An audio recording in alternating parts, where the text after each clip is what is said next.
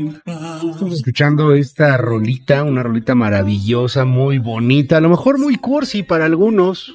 Y es que hoy, hoy es el Día Mundial del Arco Iris. Es un día de felicidad, eh, pues un día que puede llegar a asociar a ciertos movimientos de diversidad, sí, también eso puede llegar a pasar, o bueno, se ha, se ha apropiado en algún punto. Eh, pero tiene, tiene mucho que ver con, con esperanza, tiene mucho que ver con, con, tranquilidad, tiene mucho que ver con respirar, tiene, tiene mucho que ver con, con evadirnos un poquito a veces de realidades extremadamente duras, convulsas, que mm, a veces nos hacen perder la visión de lo que es bello y, de lo que también vale muchísimo la pena. Hoy es Día Mundial del Arco Iris. 6 de la mañana con 5 minutos.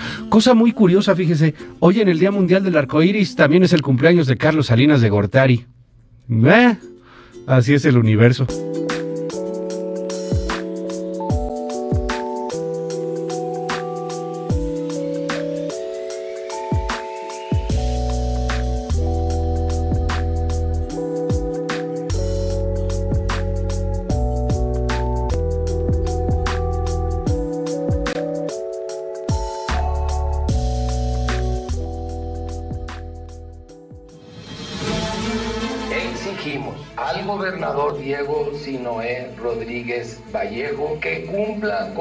Funciones para las que fue electo.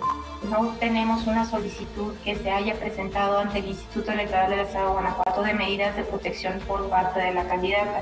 Siluetas entre las que está la de un traidor como el diputado José Luis Flores, que hoy se muestra como defensor de los policías, pero miente. Él sirve a un exgobernador ruin y oscuro y se vale de todo para lograr sus ambiciones.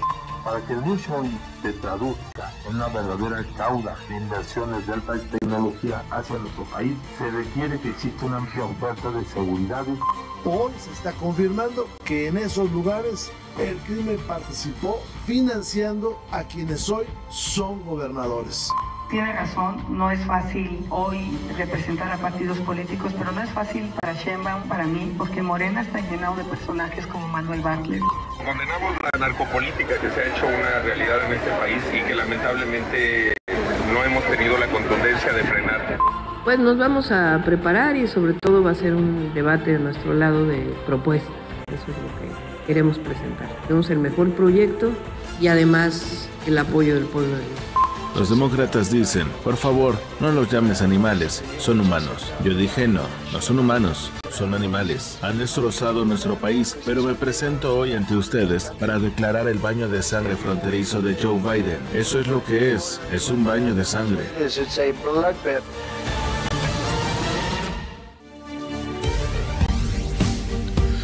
6 de la mañana con 7 minutos. Muy, pero muy buenos días a toditita la República Mexicana. Hoy es 3 de abril del año 2024.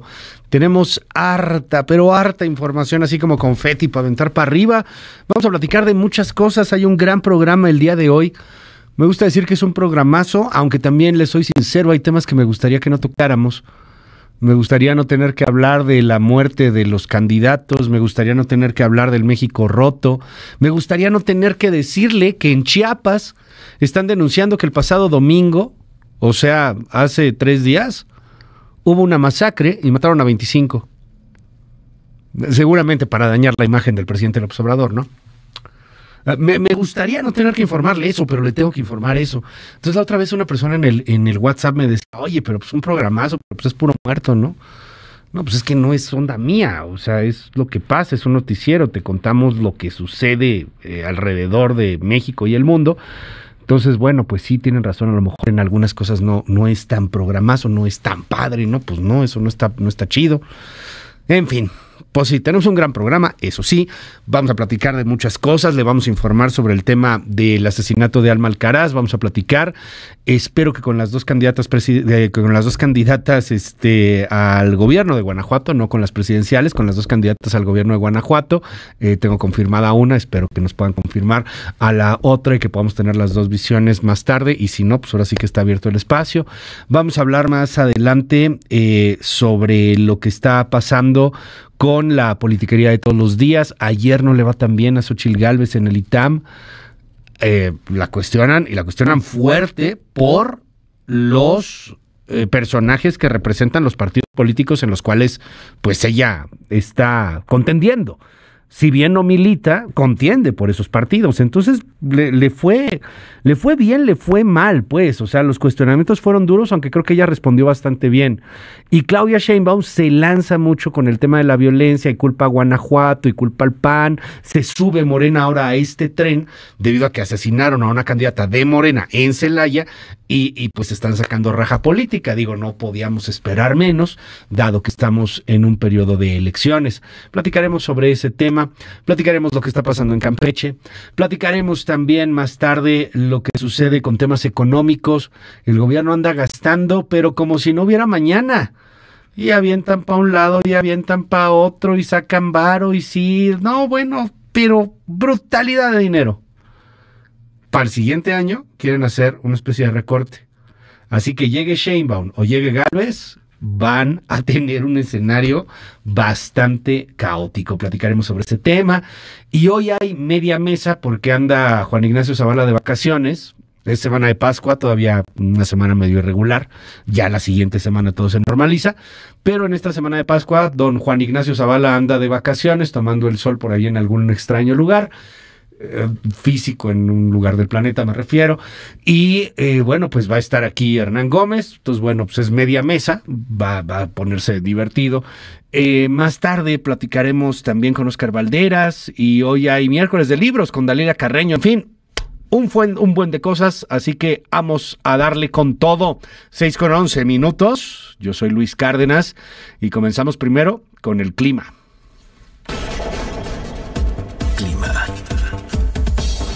MBS Noticias.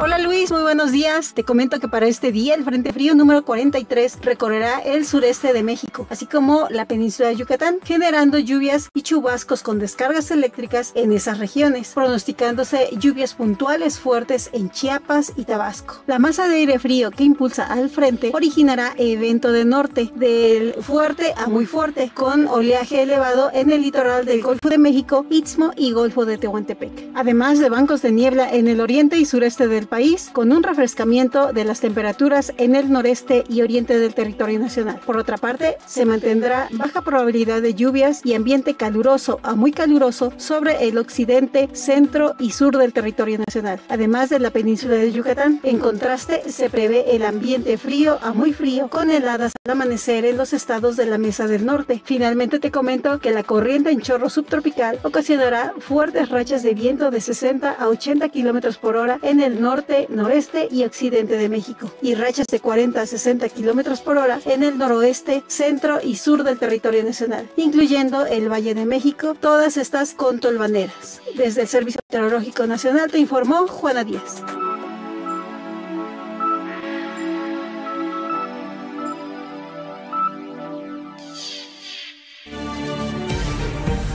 6 de la mañana con 13 minutos. Seguimos en este espacio. Gracias por los comentarios. 5571-131337. Va de nuevo 5571-131337. Nuestro WhatsApp está abierto absolutamente para todo el auditorio.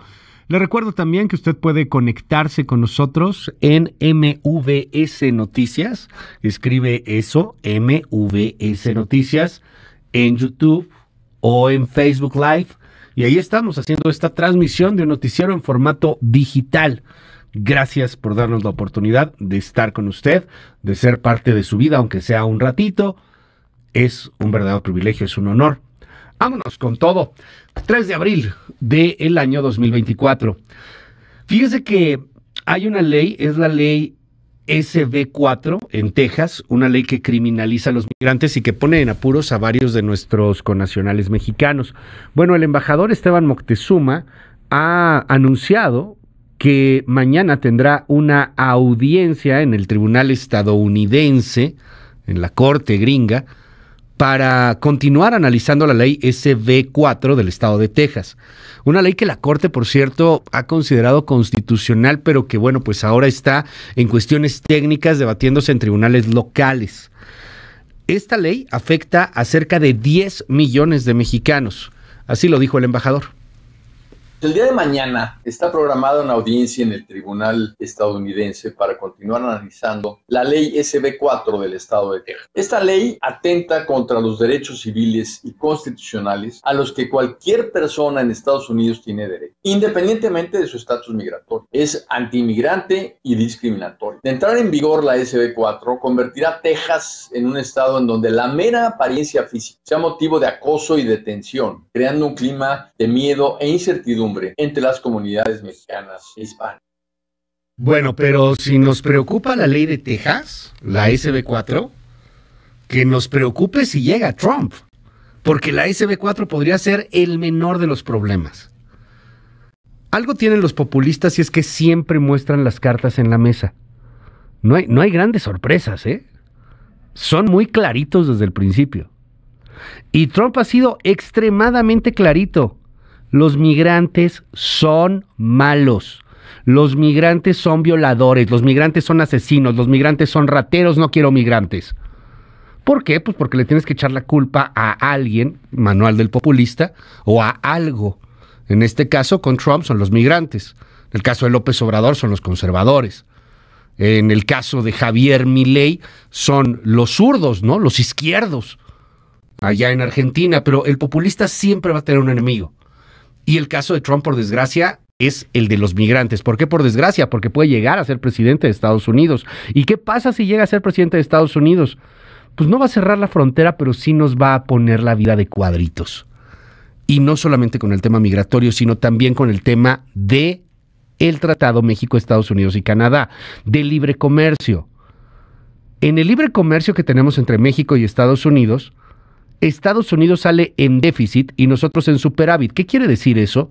Que nosotros le estamos vendiendo más a los gringos y que de alguna manera nosotros ganamos más con lo que los gringos nos compran. Pero así funciona el comercio, o sea, no quiere decir que nos aprovechamos de los gringos. Pero en la narrativa populista es muy fácil para Trump decir, se aprovechan de nosotros. Y quiere eliminar ese libre comercio. Particularmente el tema de los coches.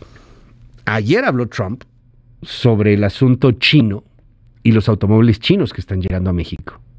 José Díaz Briseño.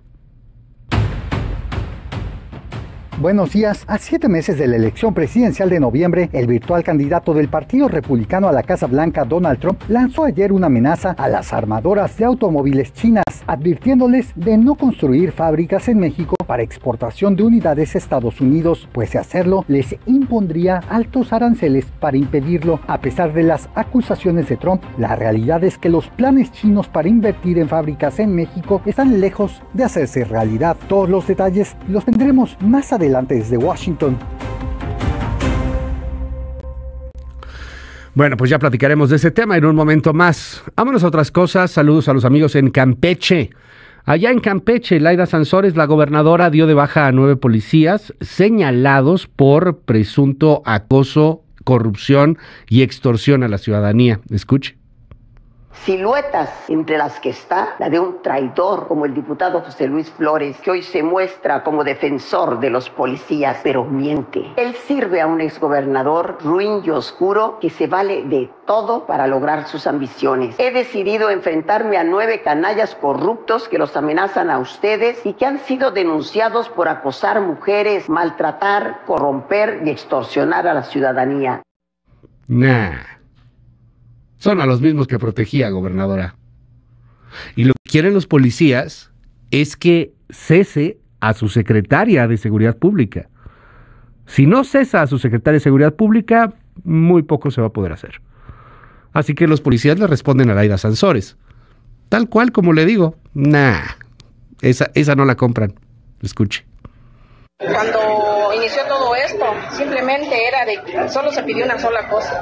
Y fue claro, fue se ha dicho muchas veces, no es un capricho, es simplemente el hecho de no tener a mando a una persona responsable y que siempre va a estar poniendo en riesgo nuestras vidas. Quizás que para ellos es algo tan fácil de decir, sustentarlo con un bono de 6 mil pesos para los que fueron, 10 mil pesos para los lesionados, 3 mil pesos para los que no participaron. Y de esa forma se fueron llevando a compañeros que de alguna manera tenían miedo de perder su trabajo trabajo. Acabamos de escuchar lo que la gobernadora acaba de decir y que dijo se va a correr a los policías que se tengan que correr y me voy a quedar con la policía que me tenga que quedar. Entonces no está llegando a solución, simplemente quiere aquí quien está encaprichada es la señora gobernadora. No hay nueve cabecillas, somos más de mil elementos que estamos alzando la voz. Entonces aquí no venga a engañar, a confundir al pueblo, como engañó al presidente que este es politiquería, no. Lo que quieren, gobernador Alaida Sansores, digo, creo que lo escucha bien. Lo que quieren es que destituya a la secretaria Marcela Muñoz Martínez. Que ya no esté Marcela Muñoz Martínez al frente de la Secretaría de Seguridad Pública porque la consideran un mal elemento, la consideran corrupta, la consideran con vínculos con la delincuencia organizada y la consideran también cómplice de vejaciones a toda la policía en Campeche, que por cierto tiene el apoyo de gran parte de la población en Campeche. No es lo mismo, ¿verdad? Llegar con 30 puntos de ventaja, con 30 millones de votos, que llegar apenas rozando. Eso le está pasando a Laida Sansores y tómelo en cuenta para lo que viene en 2024 porque seguramente la siguiente presidenta de la República, sea quien sea, va a llegar con un margen muy estrecho de votos. No va a llegar arrasando. No, no se va a repetir ese fenómeno López Obrador. Vamos a ver si, se, si pasa, pero la verdad es que esas son cosas que se llaman así fenómenos. Entonces, cuando llegas con un margen tan chiquito, pues está cañón, pero muy cañón que puedas llegar a decir aquí mis chicharrones truenan y cerrar negociaciones y cerrarte porque pues se te cae la gobernanza. En fin, al rato platicamos de Campeche. Por otro lado, le cuento que en la torre hotelera en Mazatlán, en Sinaloa, se reportó un incendio. Gracias a Dios, no hay personas heridas, mucho menos personas muertas. Eh, feo, ¿eh? El incendio. Ahí sí las imágenes estuvieron un poquito fuertes ahí en internet, en las redes sociales. Si me sigue a través de nuestra transmisión de Noticiero Digital, estamos viendo estas imágenes en este preciso instante. ¡Qué fuerte! ¡Uf! incendiándose por completo, convertido aquello en un infierno. Y sabe qué, la buena noticia, no hubo ni muertos ni heridos. 6 de la mañana con 21 minutos. Vámonos a temas políticos. En la Cámara de Diputados, el día de ayer, se armó buena la debatinga por el tema de la corrupción. La oposición reclama a la 4T que frene la corrupción de su gobierno. La 4T responde con todo diciendo por Dios, el burro hablando de orejas. Ustedes me van a decir a mí que frene corrupción. Y esa es nuestra clase política, jugando a ver quién es el menos ratero de los dos. Angélica Melín. Buenos días Luis, con el gusto de saludarte. Desde el recinto parlamentario de San Lázaro, las bancadas de oposición salieron a exigir públicamente que las autoridades correspondientes investiguen los hechos revelados en un reportaje periodístico del medio Código Magenta, donde se exhiben los testimonios de presuntos operadores del partido Morena, reconociendo que en las campañas de esa fuerza política se utilizaron recursos provenientes del crimen organizado, del robo de combustibles o huachicoleo e incluso de programas sociales esto para pagar campañas en Tamaulipas, Sinaloa, Michoacán y Campeche, en especial en 2021. Los líderes parlamentarios del PRI, PAN y PRD salieron a plantear esa exigencia. Afirmaron que las revelaciones periodísticas confirman lo que investigó la autoridad electoral y también corroboró en el 2021 respecto a que el crimen organizado intervino en las elecciones al menos de Tamaulipas y Michoacán, lo cual favoreció al partido Guinda, pero las evidencias recabadas no fueron suficientes para anular esas elecciones. En unos momentos, más información. 6 con 23 minutos. Vámonos con más temas. México roto. El México roto de todos los días. Empiezo con el asunto de Guanajuato. He hecho un desgarriate de Guanajuato en estos momentos en materia de seguridad. Obviamente de raja política. Morena, la 4T, al gobierno panista de Diego Sinué de ser responsables del caos en Guanajuato. Y, es, es un argumento fuerte, porque el PAN en Guanajuato ha gobernado pues casi por los últimos 30 años. Así que sí, hay un gran debate en Guanajuato por lo que sucedió en Celaya. Matan a una candidata que, por cierto, hay que decir, pues no estaba en los primeros lugares como para ganar la presidencia municipal en Celaya fue asesinada de una manera eh, artera, vil, cobarde, sí y no.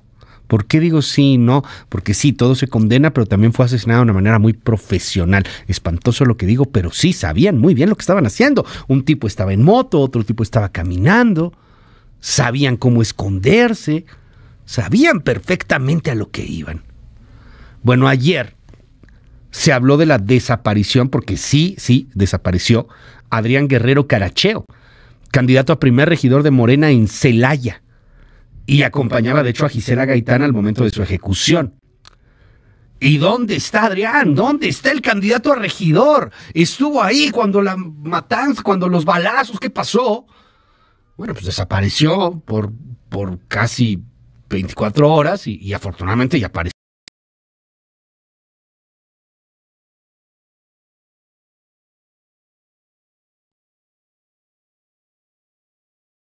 Un gusto saludarte, por supuesto, a nuestro auditorio. Adrián Guerrero llegó a pedir ayuda a las instalaciones de la Fiscalía General de la República, ubicadas en el municipio de San Miguel de Allende. El candidato a regidor por Morena en el municipio de Celaya fue reportado como desaparecido luego del atentado que sufrió Gisela Gaitán en la comunidad de San Miguel Octopan. Incluso integrantes de su partido informaron de su muerte, pero después la federación confirmó su no localización. El cuerpo de la candidata a la presidencia municipal de Celaya asesinada, Gisela Gaitán, ya fue entregado a sus familiares y es velada en los funerales San Rafael de la Alameda en el municipio de Celaya. Vale la pena resaltar que en reunión de todos los dirigentes estatales de partidos en el estado, excepto Morena, con el secretario de gobierno Jesús Oviedo Herrera, acordaron tres medidas para la protección de todos los candidatos. Los detalles más adelante. 6 con 26 minutos. Ayer el Instituto Electoral de Guanajuato descartó la negativa de protección a las candidaturas, particularmente a la candidatura de Gisela Gaitán. Morena está diciendo que no le quisieron dar protección a Gisela Gaitán porque le pedían muchos papeles. A ver, aquí de fondo hay un asunto que habría que analizar muy bien. ¿Qué diablos puede hacer un instituto electoral local? Que por cierto están muy limitados en recursos. Ellos no tienen policía, ¿o sí? Ellos no tienen Guardia Nacional a su disposición, ¿o sí? O sea, ellos piden esa Guardia Nacional a la seguridad pública. Entiendo que así es el proceso. Entonces, bueno, le pedían que justificara por qué quería tener una escolta.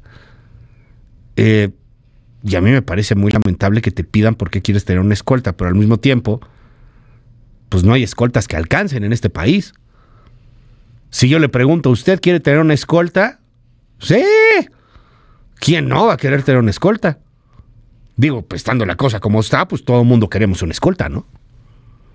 Entonces, bueno, pues sí tienes que justificarlo, supongo. Como sea, es un embrollo, un nudo gordiano ahí espantoso. Y, y está, está cañón el, el tema, porque la acusación política es fuerte y además extremadamente funcional. Esto es lo que dice la presidenta del Instituto Electoral en Guanajuato, Brenda Canchola no tenemos una solicitud que se haya presentado ante el Instituto Electoral del Estado de Guanajuato de medidas de protección por parte de la candidata. Que sí hubo, hubo un oficio que nos remitió el Instituto Nacional Electoral acerca de un escrito que presentó Morena solicitando protección para diversas candidaturas. La fecha en la que se recibe el escrito, eh, aquí en Guanajuato aún no contábamos con candidaturas. De hecho, ni siquiera había iniciado el periodo de registro de candidaturas a los ayuntamientos. Nosotros como Instituto Electoral no brindamos protección. Nosotros no tenemos facultades o atribuciones en materia de seguridad. Lo que tenemos es la atribución de canalizar la solicitud a las autoridades correspondientes. No tenemos ni los elementos, ni las competencias, ni las atribuciones para atender las solicitudes de manera directa. Pero en el México roto de todos los días, la cosa no para en Guanajuato. En Nuevo León, ahí en Nuevo León, en donde pues presumen las Teslas y en donde pareciera que la narrativa política está en otro lado, muy distinto de la realidad que viven muchos en el Estado, que es de violencia, que es de miedo, etcétera, pues confirman que, que sí, que fueron 32, sí, 32 los plagiados la semana pasada. A ver si no salen como salieron en Sinaloa. No, hombre, no los secuestraron, ellos fueron porque iban a una reunión del crimen organizado. 32. La semana pasada 66 en Sinaloa, 32 en Nuevo León. Judith Medrano. Hola, ¿qué tal Luis? Te saludo con gusto. En total fueron 32 las personas plagiadas la semana pasada en los municipios de Salinas Victoria y Ciénega de Flores en Nuevo León. La información que ha fluido a cuentagotas por parte de las autoridades de la Fiscalía General de Justicia de Nuevo León finalmente revelan que en cuatro días, en distintos lugares, hombres, mujeres, niños y adultos mayores fueron sacados de sus viviendas por un grupo armado. Pero toda esta información te la presento más adelante. 6 de la mañana con 29. Vámonos a un vistazo global. Un, un ojo por el mundo. A ver, lo de Japón, digo, lo de China, perdón, lo, de China-Taiwán, estuvo espantoso. Un terremoto ayer de 7.5 grados sacudió las costas de Taiwán. Japón emite una alerta de tsunami. Afortunadamente no llegó a mucho. Las imágenes del terremoto son escalofriantes. Edificios a dos de colapsar. La gente gritando con miedo. Hay algunas imágenes de un puente. Están ahí algunos eh, automovilistas y motociclistas en el puente y se está sacudiendo todo el puente. Más tarde le vamos a dar la información a detalle hasta el momento estamos hablando, y mire que eso es un milagro, de cuatro personas que perdieron la vida y el derrumbe de dos edificios.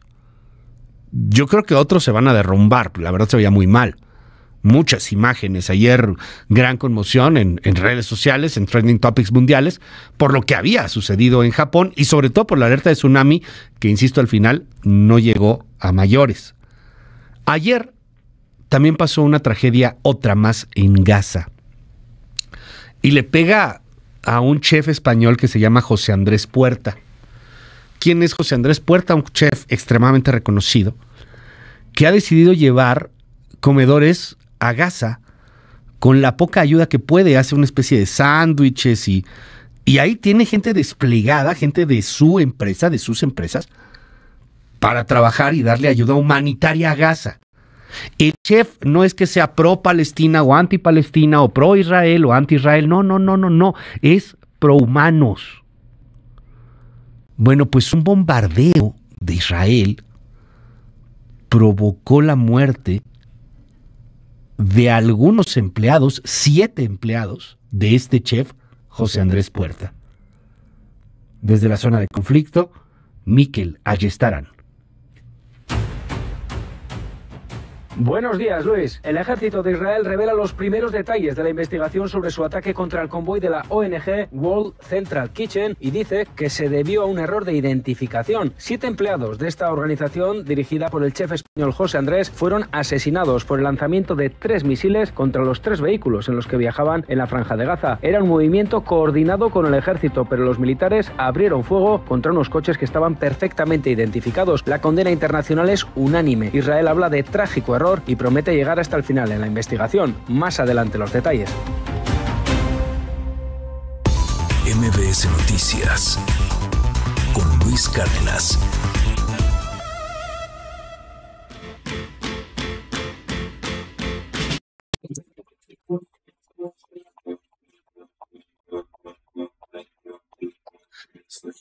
Las 30 de la mañana con 32 minutos. Pásela maravillosamente bien, increíble, feliz, porque pues es lo que nos queda. Hoy es día del arco iris. Y, y, también es cumpleaños de Carlos Salinas de Gortari. Ya ve cómo el universo de repente nos hace algunas bromas extrañas. Ahorita me decían, seguro es porque se llevó el tesoro y está al final del arco iris, ahí Salinas, ¿no? Bueno, en fin, pásela bonito, pásela muy bien, sonría, acuérdese de sonreír, acuérdese que las cosas no son tan en serio. Todo pasará. 6 con 33, ¿qué trae la prensa?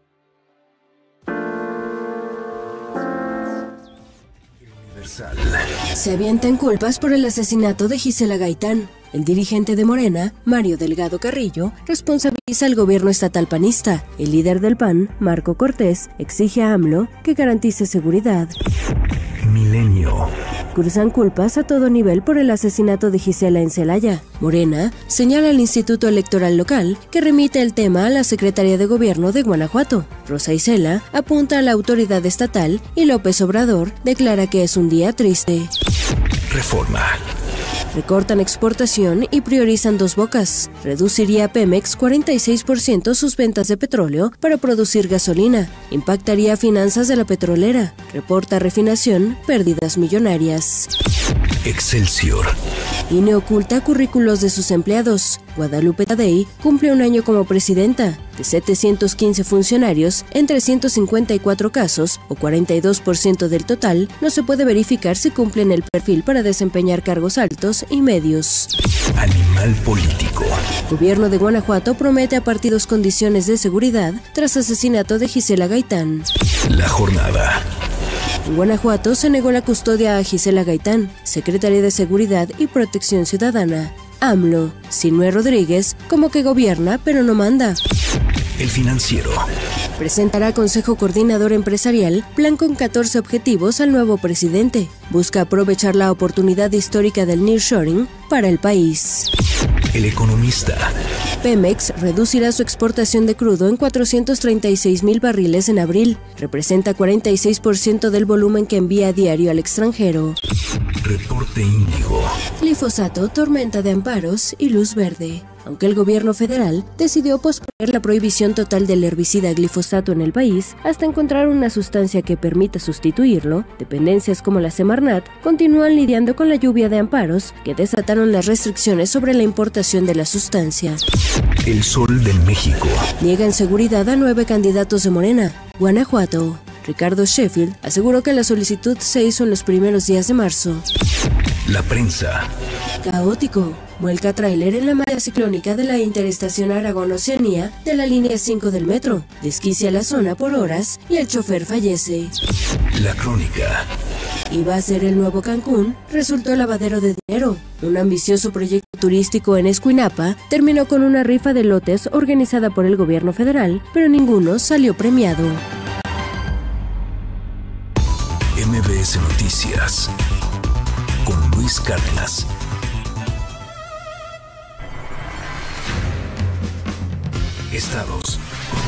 Guanajuato. Un comando armado secuestró al suegro de la alcaldesa conicense de Moroleón y actual candidata a reelegirse, Alma Denis Sánchez, este lunes por la noche. Un video que ha circulado en redes sociales muestra a varios hombres encapuchados y con armas largas entrar a un establecimiento ubicado en la avenida Ponciano Vega y sacar del lugar al empresario, identificado como Fernando, para luego amenazarlo y subirlo a un vehículo.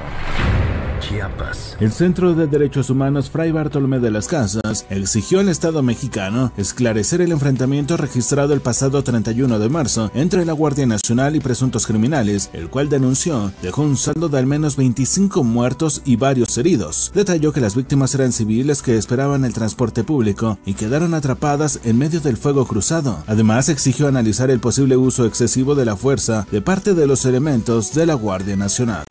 En más información del Estado, la Fiscalía Estatal confirmó que sujetos armados irrumpieron en una vivienda ubicada en Ocosocuautla, dispararon sus armas y secuestraron a dos personas este lunes. Esa misma noche en redes sociales, habitantes de los barrios Cruz Blanca y San Bernabé reportaron la presencia de sujetos encapuchados y con armas de alto poder en la zona. Las autoridades policíacas y ministeriales no reportaron víctimas ni heridos pese a la intensidad de la balacera.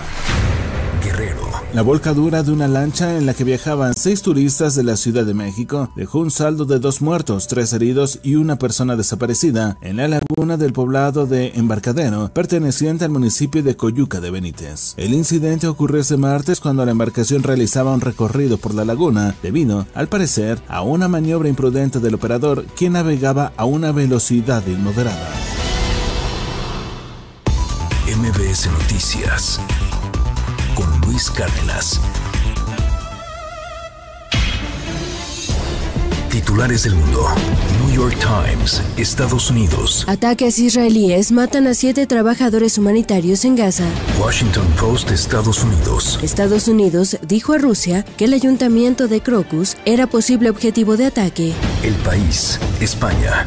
Israel mata a siete cooperantes de la ONG de José Andrés en Gaza. Le Monde, Francia. París 2024. Para el ministro de Deportes, Francia debe acoger a rusos y bielorrusos sin discriminación ni humillación, pero bajo condiciones. The Guardian, Reino Unido. Organizaciones benéficas suspenden la ayuda a Gaza luego de que un ataque con drones matara a siete empleados. Der Spiegel, Alemania. Terremoto en la costa de Taiwán. Al menos 60 personas enterradas en túneles, entre ellas dos alemanes. Corriere della Sera, Italia. Trajeron comida, murieron en Gaza. Funcho de São Paulo, Brasil. La intención de Moro, la suma de los gastos y los vacíos de precampaña entran en el foco de la sentencia.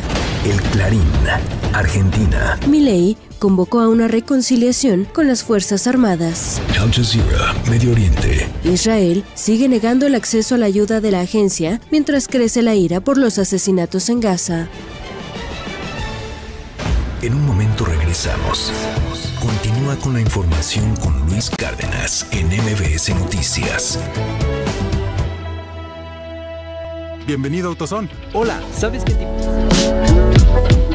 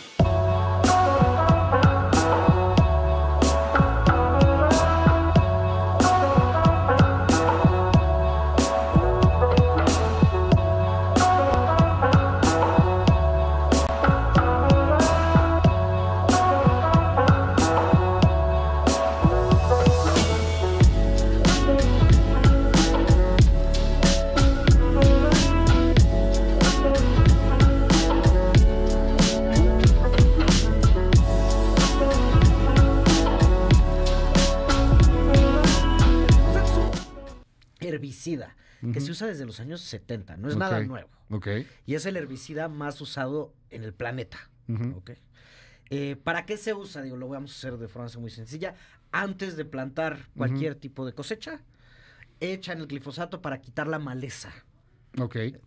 entre otras cosas. Vamos, pero vamos, de forma simplificada, para eso Para se utiliza, limpiar. Para limpiar. Lo utilizamos nosotros, chinos, los japoneses, en Estados Unidos, en Europa, Brasil, Argentina, se utiliza en todo el mundo. Y es, ya no tiene patente, porque pues, te digo, es de los 70, ya hay muchas marcas que lo pueden hacer, porque Ok. cuando vencen las patentes, como con las medicinas, y es por mucho este, un insumo básico, digamos, de cualquier tipo de agricultura tecnificada. Ok. A ver, pero es También. que además, o sea, es que además siento que esto es algo así como de esclavos, ¿no? Perdón, es políticamente incorrecto, lo sé.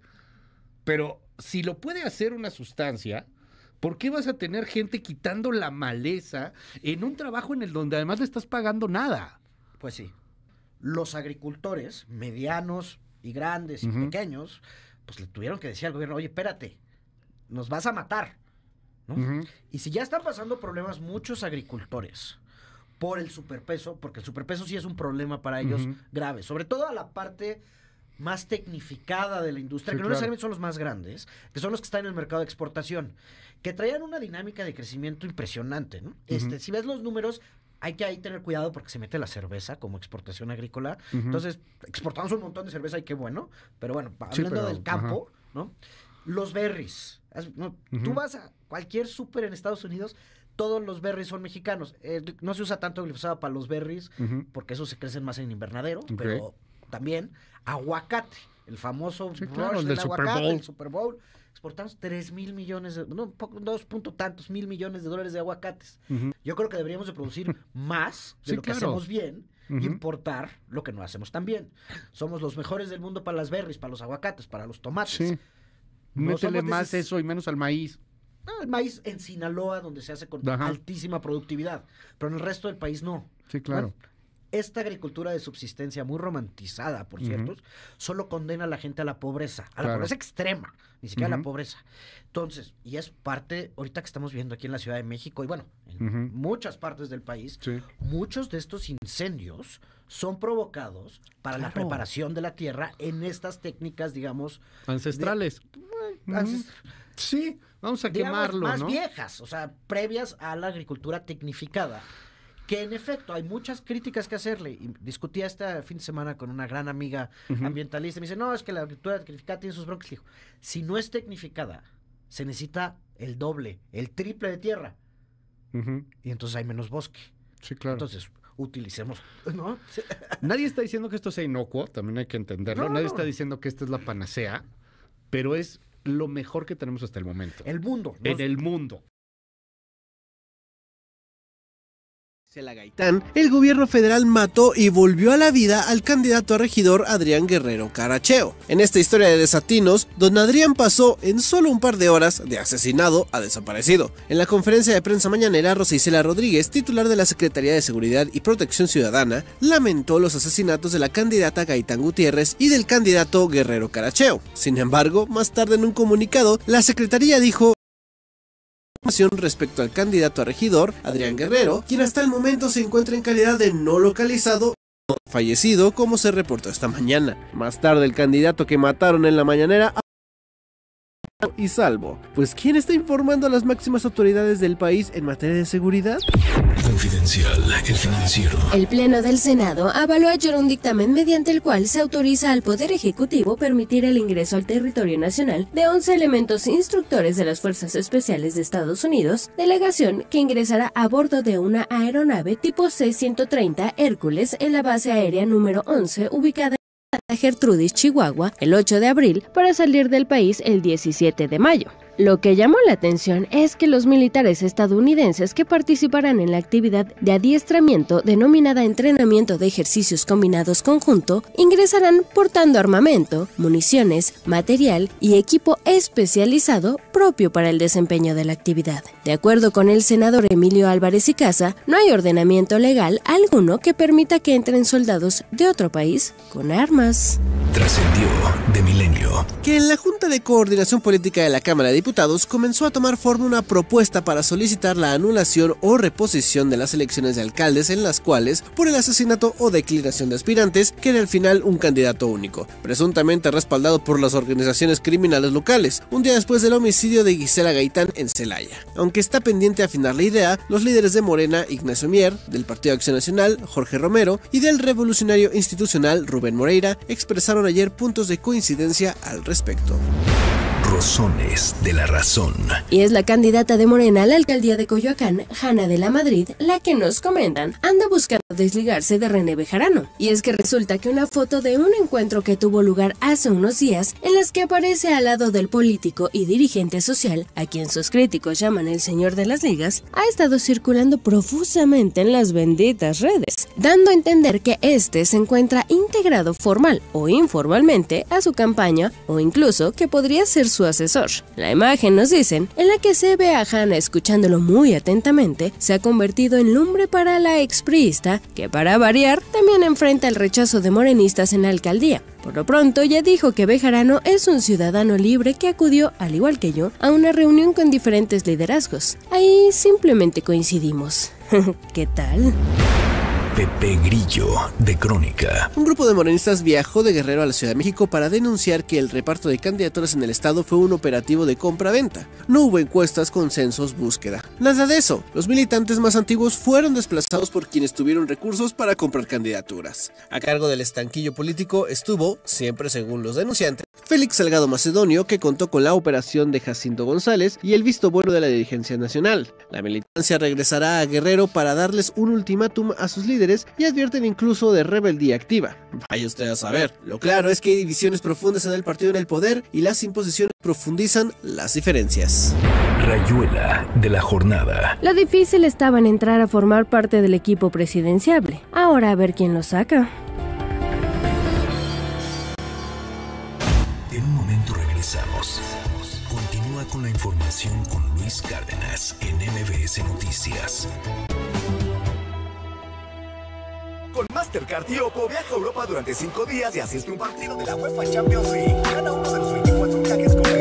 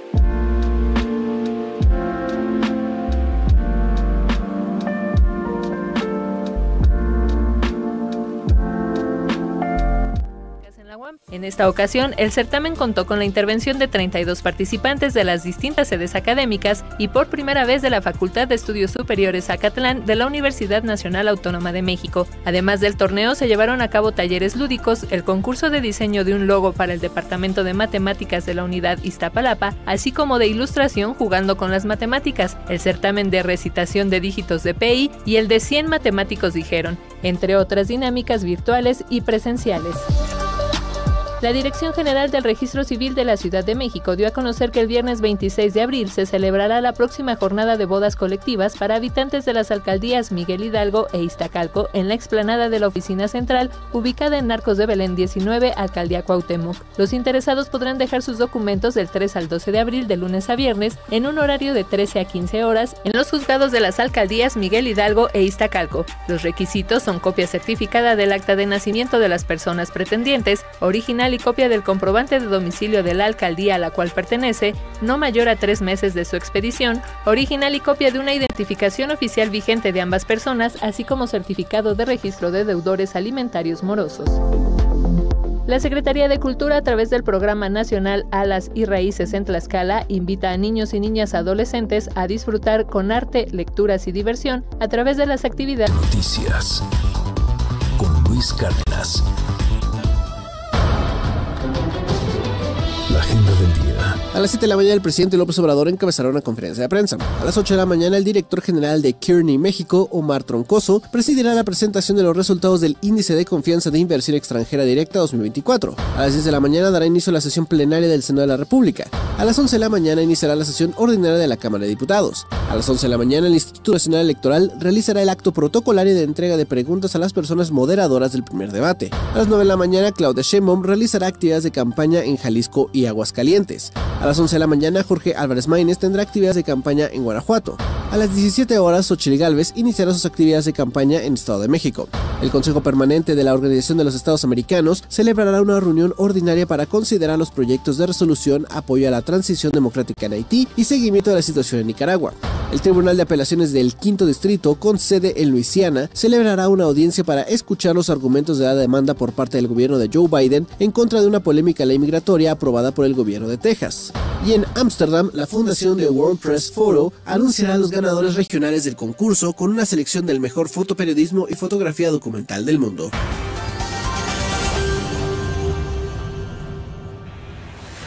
Frecuencia MBS XHNBS 102.5 Alcance 180.000 watts de potencia. Ubicación Mariano Escobedo 532 Ciudad de México. MBS Noticias 102.5 FM. El poder de las palabras. MBS 102.5 te da el reporte vial. Muy buenos días, esta es la información vial.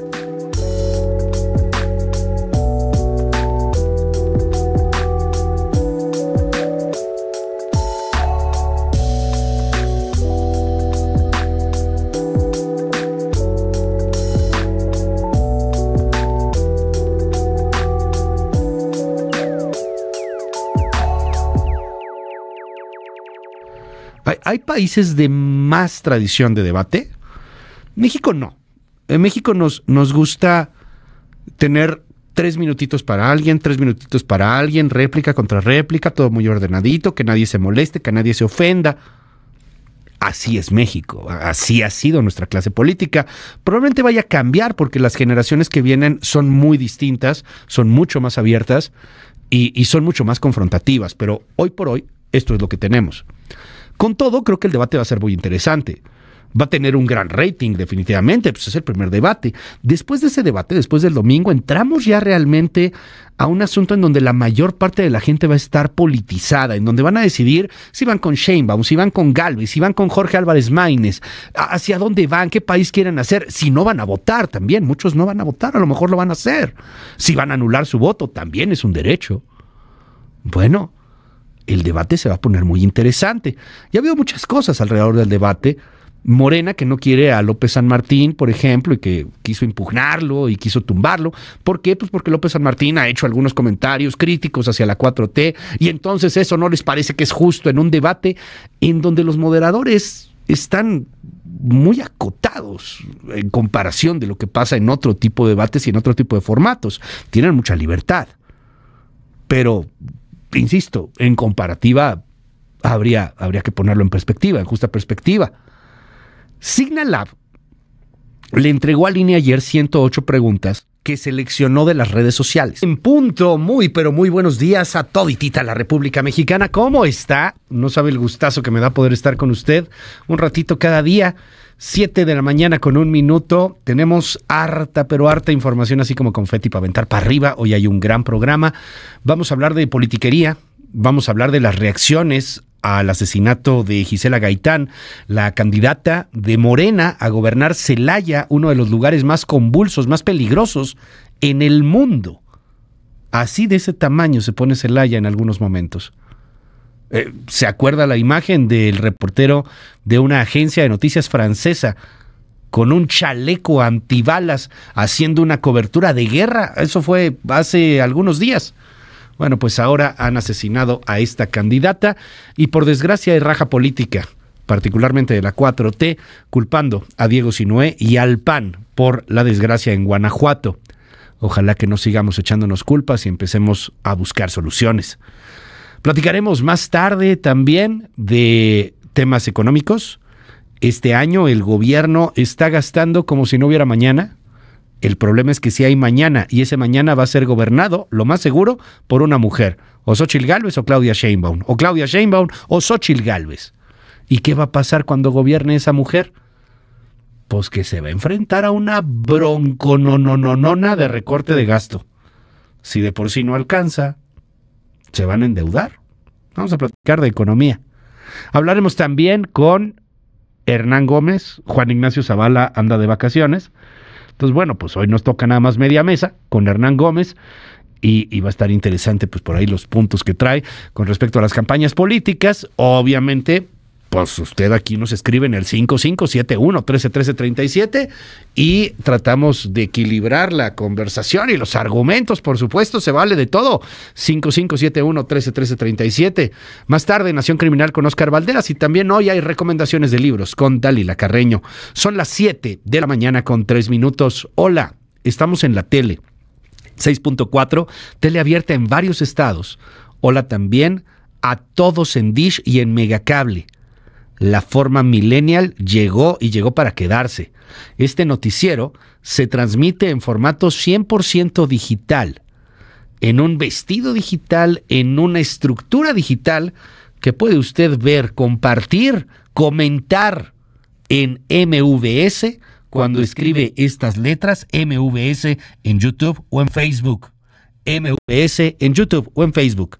Y ahí estamos todos los días, desde las 6 de la mañana, transmitiendo este espacio. Le invitamos a que entre en mvsnoticias.com.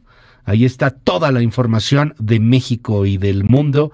Ahí se puede suscribir, va a recibir actualizaciones en tiempo real si tiene las apps. Entre mbsnoticias.com es su casa. Hay de todo. Información, entretenimiento. Con usted un ratito cada mañana. Le aprecio en el alma esta increíble oportunidad. Gracias por darnos esta oportunidad, gracias por dejarme compartir su vida, aunque sea unos minutitos, nos hace la vida. Gracias por darnos chance de acompañarlo mientras va al gimnasio, mientras va a dejar a los niños. Ahorita no porque estamos de vacaciones, a lo mejor, mientras está preparando el desayuno. A lo mejor somos los que lo está acompañando mientras se despierta. A lo mejor ya trae un rato despierto. Bueno, gracias. Esperemos estar a la altura de sus expectativas. Es un honor trabajar para usted. Las 7 con 5.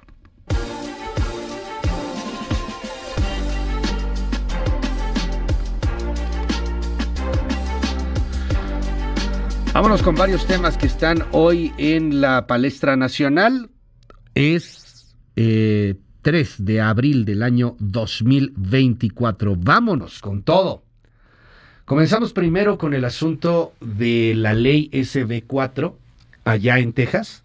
Al rato le voy a comentar lo que, lo que dijo Trump, que se lanzó durísimo contra el Tratado México, Estados Unidos y Canadá y contra la llegada de autos chinos a México. Dice que ese es un abuso, que, que si él llega a la presidencia los va a bloquear. Hoy tenemos un serio problema con la ley SB4. ¿Qué hace esta ley? La ley eh, SB4 de Texas criminaliza y pone en un jeopardy, en un peligro, a más de 10 millones de conacionales. Bueno, esta ley ha sido impugnada. Esteban Moctezuma va a estar en la Suprema Corte, allá en Estados Unidos, en la Corte. Va a estar hablando sobre el tema, tratando de defender eh, pues, los derechos humanos de los migrantes. Pero yo creo que esta ley va a ser lo que menos nos preocupe si Trump gana la presidencia. Es Esteban Moctezuma. El día de mañana está programada una audiencia en el Tribunal estadounidense para continuar analizando la ley SB4 del Estado de Texas. Esta ley atenta contra los derechos civiles y constitucionales a los que cualquier persona en Estados Unidos tiene derecho, independientemente de su estatus migratorio. Es antimigrante y discriminatorio. De entrar en vigor la SB4, convertirá a Texas en un estado en donde la mera apariencia física sea motivo de acoso y detención, creando un clima de miedo e incertidumbre entre las comunidades mexicanas e hispanas. Y el virtual, ¿cuál virtual? El candidato republicano de Estados Unidos, Donald Trump, ya es el candidato republicano, por Dios, advirtió que cuando llegue a la presidencia va a imponer altos aranceles a los fabricantes de automóviles chinos que decidan instalar plantas en México para exportar a Estados Unidos. Trump además llamó animales a los migrantes y dijo que López Obrador solamente va a trabajar si Biden le regala 20 mil millones de dólares. Ya se clavó en ese asunto y anda dándole duro todos los días el presidente Trump, el expresidente Trump, al presidente López Obrador. Esto va a subir de tono. Hágame caso, escuche.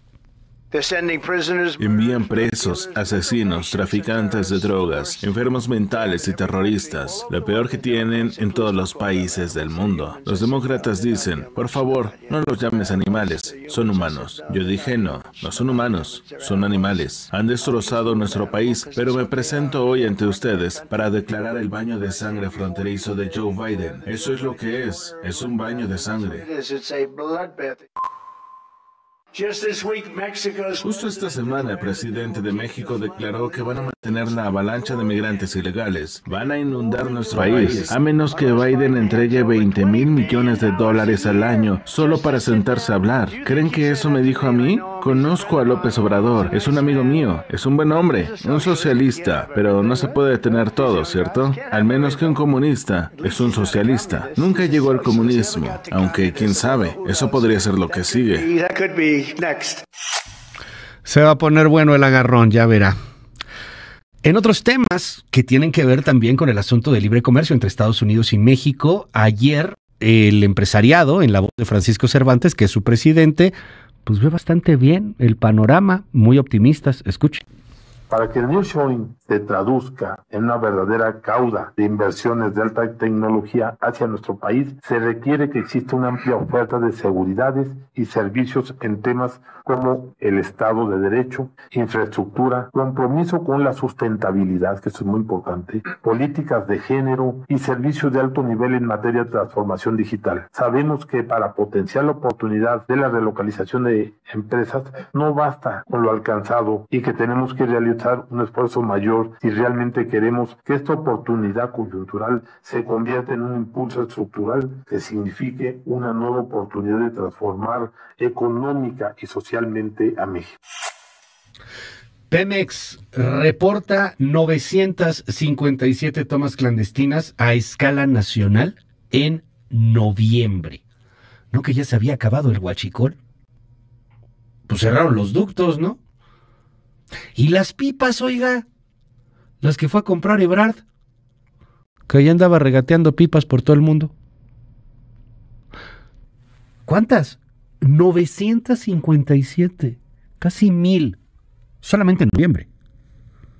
Jalisco es la entidad que tiene más reportes con 252. No que ya no había guachicol. Qué necia la realidad con sus otros datos, caray.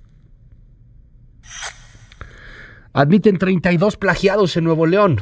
El anuncio se dio el lunes. El lunes se hablaba de las 16 personas que habían sido privadas y liberadas. Pues, ¿qué cree? No fueron 16, fueron 32 plagiados en Nuevo León. Y la semana pasada, en Sinaloa, 66. ¿Cómo ve? El gobernador de Sinaloa, Rubén Rocha, se aventó la puntada de decir que no habían sido plagiados, que habían sido llamados a una cita con el crimen organizado. Ay, sería muy gracioso si esto fuera una novela negra y si no tuviera tanto muerto en medio. En Nuevo León ahora pues no son 16, son 32 los que fueron plagiados. Con el avance de las investigaciones en el estado, se reveló que en cuatro fechas distintas de los últimos 20 días habrían sido levantadas estas 32 personas. Terror en Taiwán. Un terremoto, el más, el más intenso terremoto que ha vivido Taiwán en los últimos 20 años, azotó ayer. Vea usted si me sigue a través de MVS en YouTube las imágenes. ¿Qué es eso? Un edificio que se cae, colapsa por completo. Otro que parece una especie de torre de Pisa, totalmente inclinado a nada de hacerse añicos. Hasta el momento se reportan al menos nueve muertos y más de mil heridos, además del derrumbe de dos edificios. 但是呢，在山区午后这边呢，其实是有一点点小小的云点的，也就代表说不排除可能会有热对流发展起来。但放心，这时节还没有完全进入到夏天，所以热对流发展不会非常旺盛。不过高温资讯您倒是要特别留心了，因为气象署今天持续来发布，包括在嘉义以南地区以及呢这个台东地区，而您现在应该可以感受得到，我们现在呢摄影棚天摇地动，我们的摄影棚在八楼左右，现在的晃动是非常。非常明显，而且是上下左右非常明显的晃动，的确是让很多人觉得相当的紧张。哎呀！完蛋了！哥哥在那里啦！哥哥在家就好。MBS Noticias con Luis Cárdenas.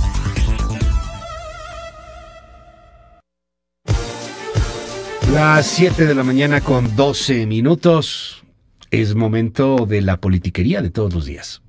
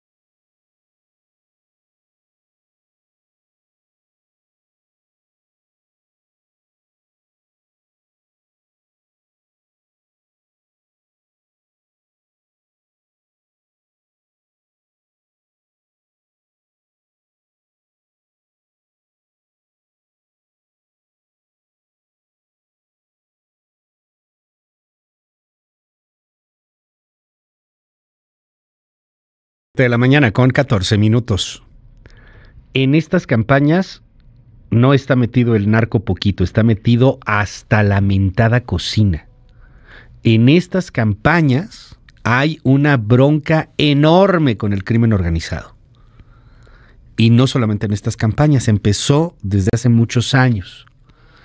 Ayer se desató una bomba política en código magenta un medio de comunicación que difundió el día de ayer audios de un señor que se llama Horacio García Rojas. ¿Quién es Horacio García Rojas? Él es el operador, o bueno, fue el operador de Sergio Carmona. ¿Quién es Sergio Carmona? ¿Se acuerda que le acabo de decir de los guachicoles y de las tomas clandestinas que siguen? Bueno, Sergio Carmona es conocido como el rey del huachicol, particularmente en el norte fue asesinado en el 2021 en una barbería en San Pedro Garza, en Nuevo León. Llegaron a la barbería, pa, pa. Era un mafioso de primera. mafioso de primera, amigo de Mario Delgado, que viajaba en los aviones privados, Mario Delgado y varios candidatos de Morena. Y se ha hablado hasta el cansancio y se ha probado, pero estas pruebas no han sido suficientes para la autoridad, que en Tamaulipas, Américo Villarreal, el actual gobernador, fue financiado por este mafioso, por Sergio Carmona, por el rey del Huachicol. Bueno, pues lo que presenta Código Magenta es una bomba, porque aparece el operador de este mafioso, Horacio García Rojas se llama, en un restaurante en Houston, platicando, hablando de cómo operaba Sergio Carmona y de cómo se hacen los negocios en México. Escuche parte del cochinero que se presentó ayer. Pero los que financiamos las campañas, también nosotros.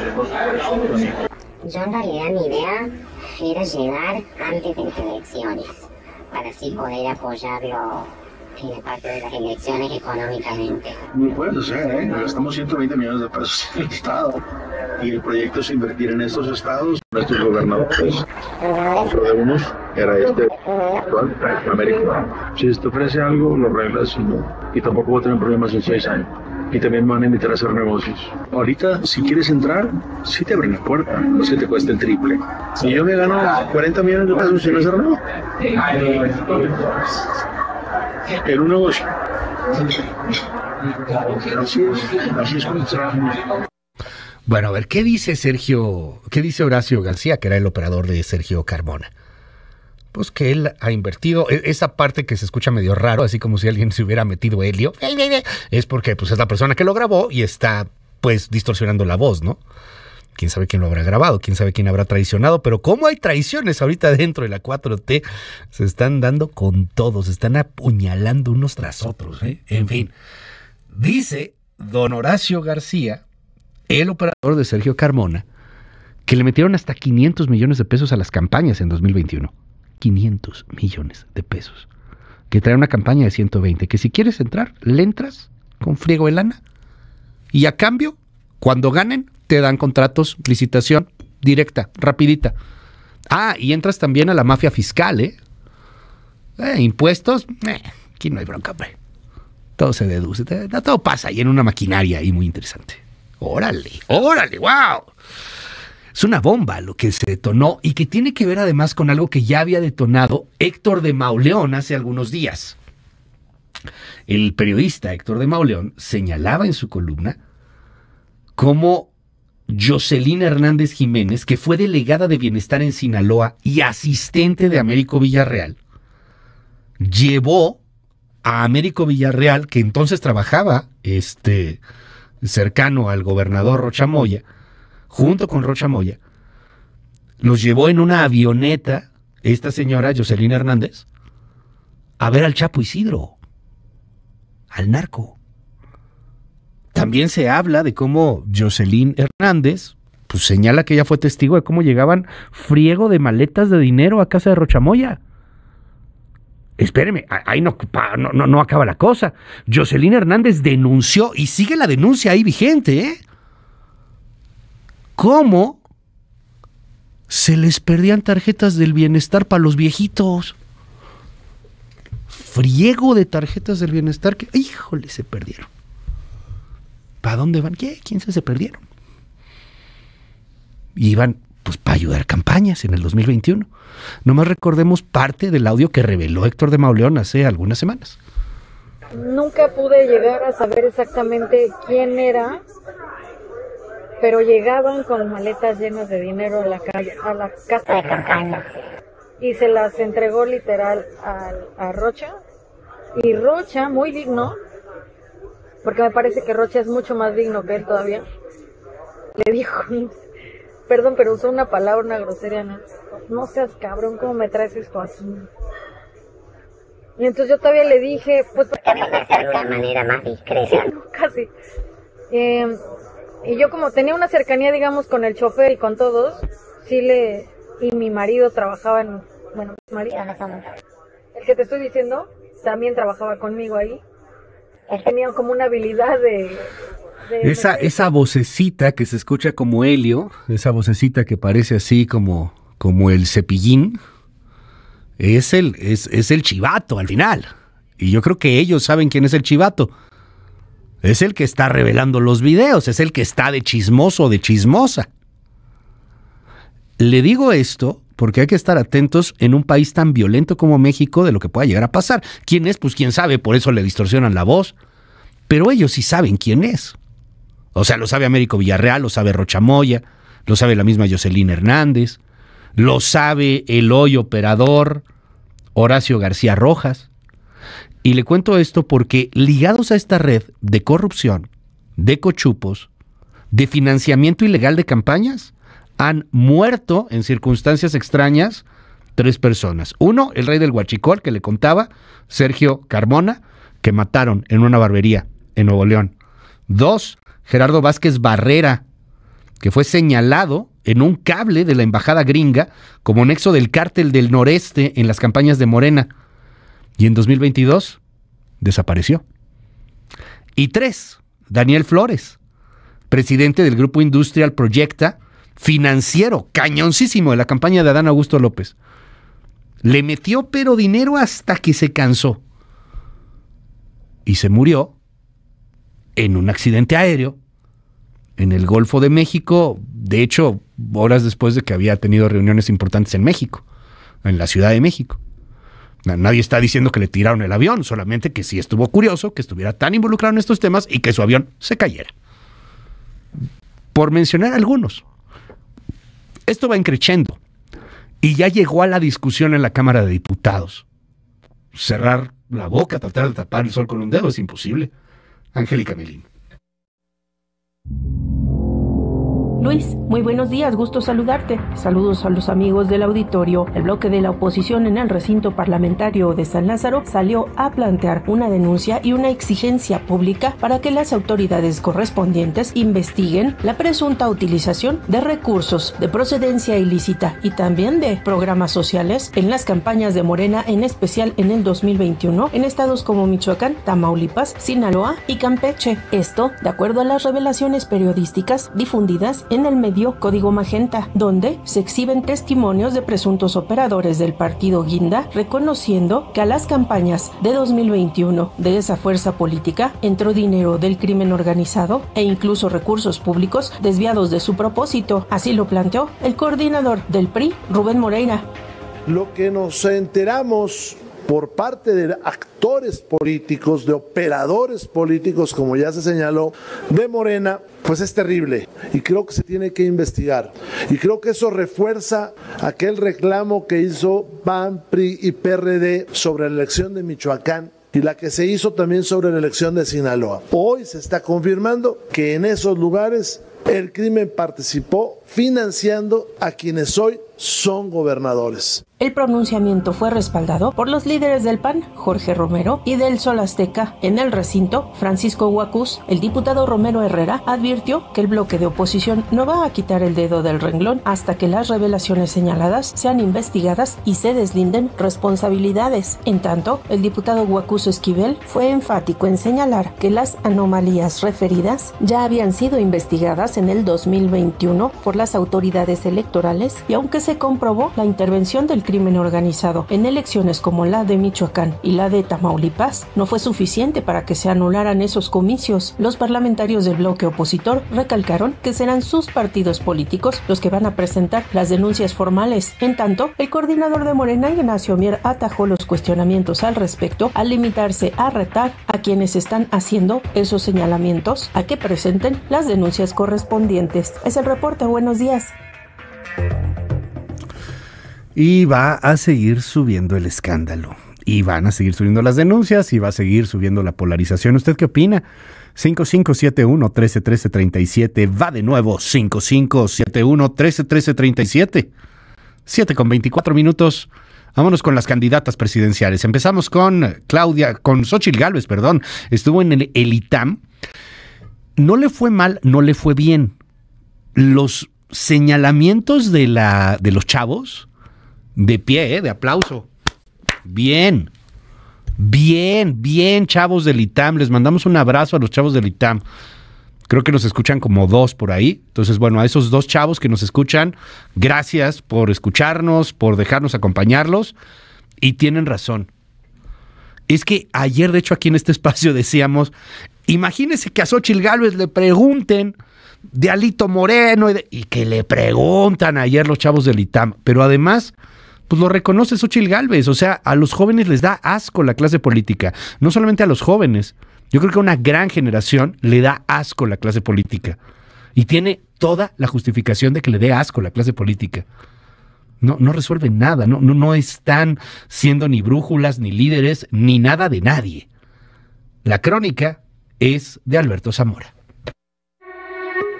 Luis, muy buenos días. Xochil Gálvez, candidata presidencial por el PAN, PRI y PRD, reconoce que es difícil representar a los partidos políticos al manifestar que todos tienen personajes impresentables. Durante un encuentro con la comunidad del Instituto Tecnológico Autónomo de México, Galvez Ruiz dijo que todos los partidos tienen gente buena y gente mala. Admitió que puede provocar asco a los jóvenes ver la clase política del país y cuestionarse respecto a quién van a elegir el próximo 2 de junio. De verdad que sí debe de ser un asco para los jóvenes ver a sus políticos y decir, ¿por quién decido? Yo lo único que les puedo decir a los jóvenes es, efectivamente, yo no era la candidata de los partidos. Un dirigente me dijo, no te equivoques, no te vamos a apoyar. ¿no? Está bien, ustedes decidieron apoyarme, conseguí el millón de firmas, estoy aquí. Al hablar de temas relacionados con la justicia, la candidata recordó el caso de su hermana, quien tiene 12 años sin sentencia, presuntamente involucrada en el delito de secuestro, por lo que dijo conoce todas las condiciones de los penales que hay en nuestro país. Y me queda claro lo duro que es la cárcel. Mi hermana tiene 12 años y no tiene sentencia. Yo no sé si es culpable, no sé si es inocente. Ella dice que es inocente, yo le creo porque es mi hermana, pero será un juez el que determine si es culpable. Y si es culpable, lo va a pagar. Al interior del auditorio, la reunión se llevó a cabo en calma, sin gritos o pancartas. Afuera, un grupo reducido de jóvenes cuestionó a la banderada de la oposición, especialmente por aceptar el apoyo del PRI, al que vincularon con personajes responsables de violentar a las mujeres. Otros jóvenes dijeron que el gobierno del PAN sacó al ejército a las calles y que el PRD ordenó asesinar a los 43 normalistas, mientras que el PRI creó la verdad histórica. El incidente no pasó a mayores y la candidata abordó su camioneta sin contratiempos. Más tarde, la candidata se comprometió a impulsar la recuperación del lago de Zumpango e instalar una planta de tratamiento de agua en esta zona con el objetivo de que dicho vaso regulador vuelva a funcionar. Ella realizó un recorrido acompañada por prestadores de servicios y pobladores en esa zona. Luis, mi reporte, muy buenos días. Gracias, es Alberto Zamora con la información. ¿Y sabe qué? Yo le reconozco algo a Xochitl Galvez y Álvarez Maínez. Esos van con el ITAM, esos van a la Ibero, esos van con los empresarios, esos van con los constructores, esos van con los banqueros, con los financieros al menos. Claudia Sheinbaum no va a algo que no sea de la 4T y algo que no esté 100% controlado, que no se mueva un cabello del lugar porque porque no lo aceptan. Porque se sacan de onda, porque no está dentro del guion y del protocolo. Si a Xochitl Galvez le protestaron unos chavos legítimamente y con toda razón, no sé cómo le protestarían a Sheinbaum, porque también pasaría. Y eso es una democracia. Pero Sheinbaum no, no va, a nada de eso va, no se mueve y no va. A lo mejor porque sabe que no es su electorado, a lo mejor porque sabe que es un riesgo, porque ahí tienen mucho que perder, son los que van en primer lugar en las encuestas, entonces ahí es en donde tienes que cuidar mucho el tema.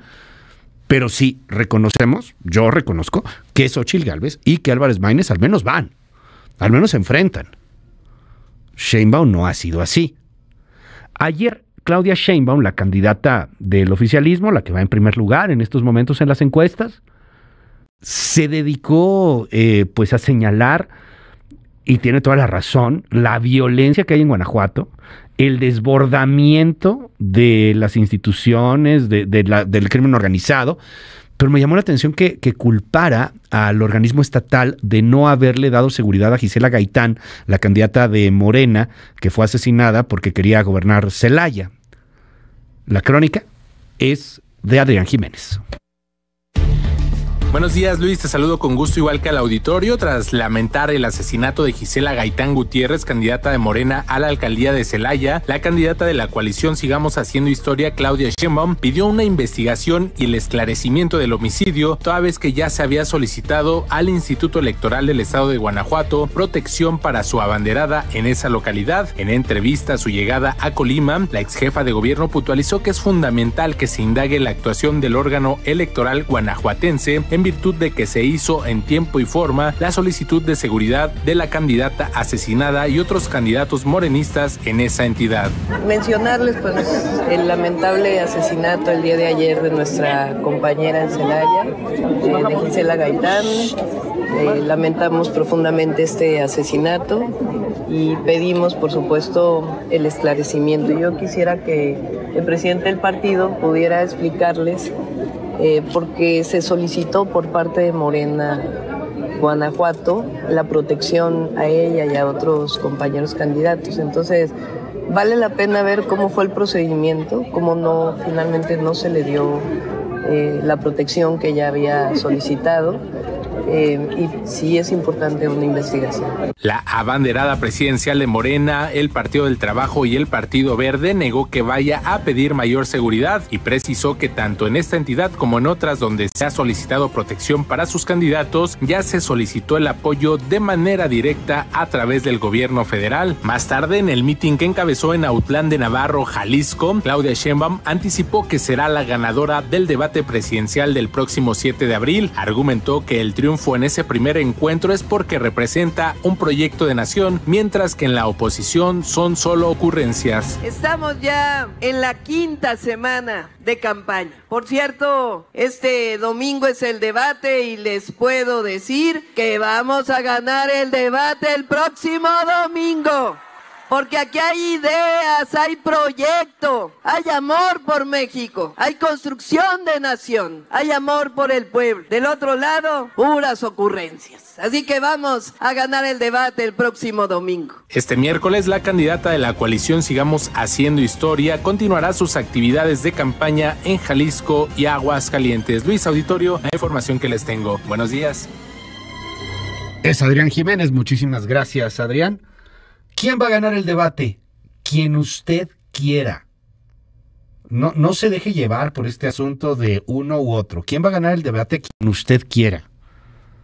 E, es que la clase política, aprovechándose mucho hoy día de la gran ignorancia política que existe, está jugando mucho al tema de ganaremos el debate, estaremos el debate. A ver, el debate, el debate al final no se gana, es una percepción que tienen analistas, y que tiene el círculo rojo de quién gana el debate.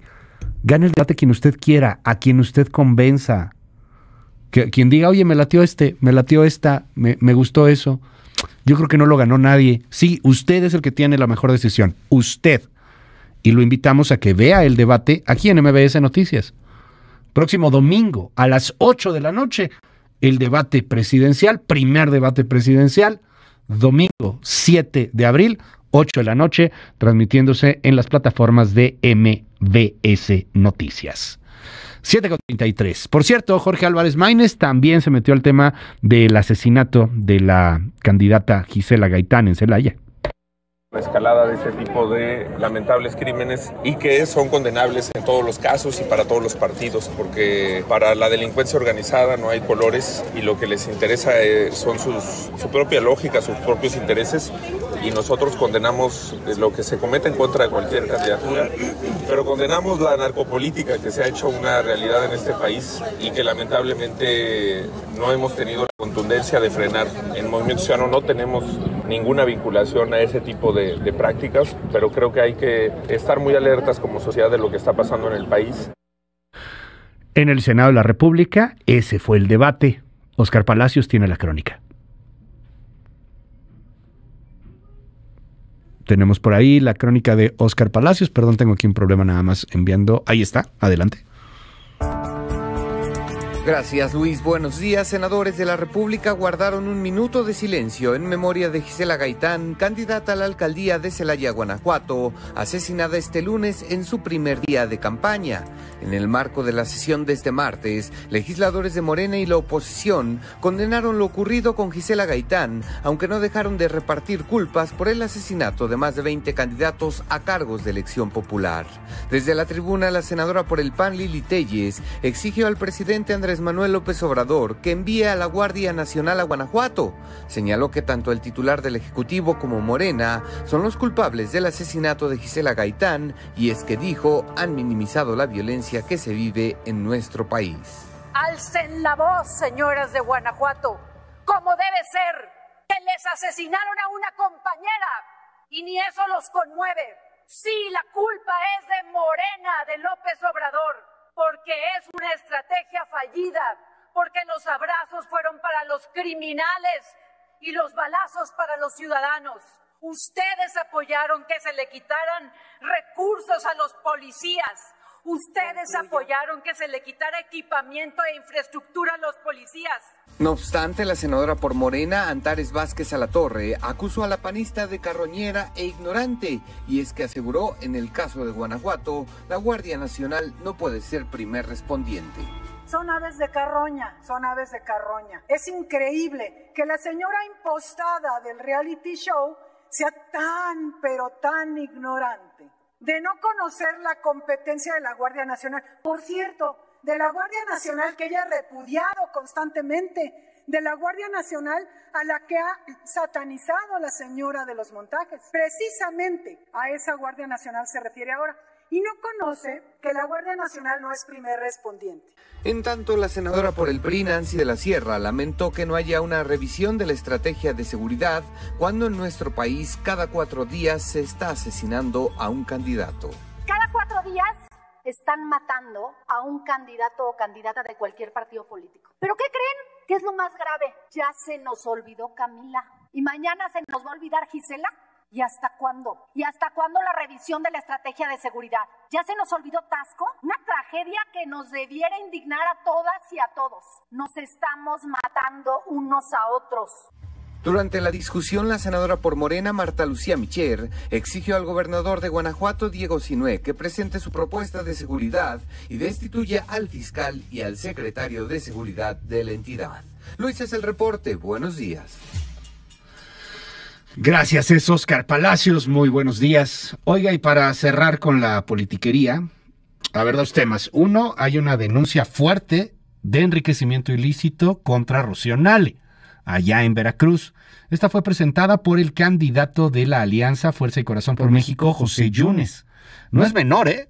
Ayer también se dio a conocer una red de corrupción esto, eh, bueno, pues señalado por el empresario que se ha dedicado a denunciar un día sí y al otro también a Rocío Nale.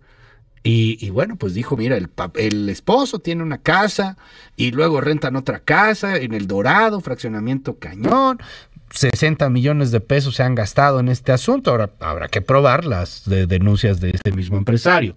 Frente a todo ello, bueno, pues ha presentado ya de manera penal una denuncia contra la candidata Rocío Es José Yunes. Hay muchas preguntas que la sociedad veracruzana y la sociedad en general y las autoridades en general le deben plantear a la candidata ante el descuadre entre sus propiedades e ingreso, ya que juntar el recurso necesario para pagar los, los cerca de 60 millones de pesos que los medios de comunicación consignan en valor de esos inmuebles, le hubiera llevado 39 años ahorrando todo su sueldo neto. Bueno, eso por un lado en Veracruz. Hoy en Monterrey se me hace que alguien va a amanecer de malas publican una encuesta en el diario Reforma. Achis, achis, los mariachis. Mariana Rodríguez, segundo lugar para la alcaldía de Monterrey. Primer lugar, Adrián de la Garza. Pegaditos, ¿eh? Pero aventaja Adrián de la Garza a Mariana Rodríguez, que sería la vendetta de Adrián de la Garza contra pues Samuel García, que le ganó a final de cuentas la gobernatura hace algunos años, en el 2021. Achis, achis los mariachis. O sea, ay, caray. No que era la invencible, al menos en esta encuesta, pues parece que no, es una encuesta seria. En los estados se mueven muchas encuestas que no son muy serias, pero pues al menos la encuesta del Reforma tiene cierto prestigio, encuesta seria, y pone un pelín arriba, 36 puntos, a Adrián de la Garza, Mariana Rodríguez de Movimiento Ciudadano, 31 puntos. ¿Será que le está pegando a Fosfo Fosfo traer la Tesla, la Cybertruck? No quiere responder sobre esos temas. El, asunto este de que lo acusaron de corrupción y de que se movía dinero del gobierno para sus empresas y que él respondió, pero un poco mal y de malas, o un mucho mal y de malas. ¿Será que está pegando eso? ¿Será que ya no son ese dúo de influencers que eran hace algún tiempo, que parecían imbatibles? Échele un ojo, ahí está la encuesta desde el Reforma.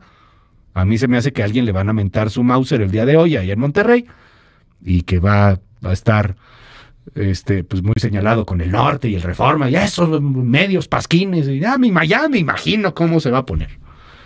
Está interesante la encuesta. 741. ¿Y la prensa que trae? Intelite reporta. La cobertura mediática de los temas del día. 1.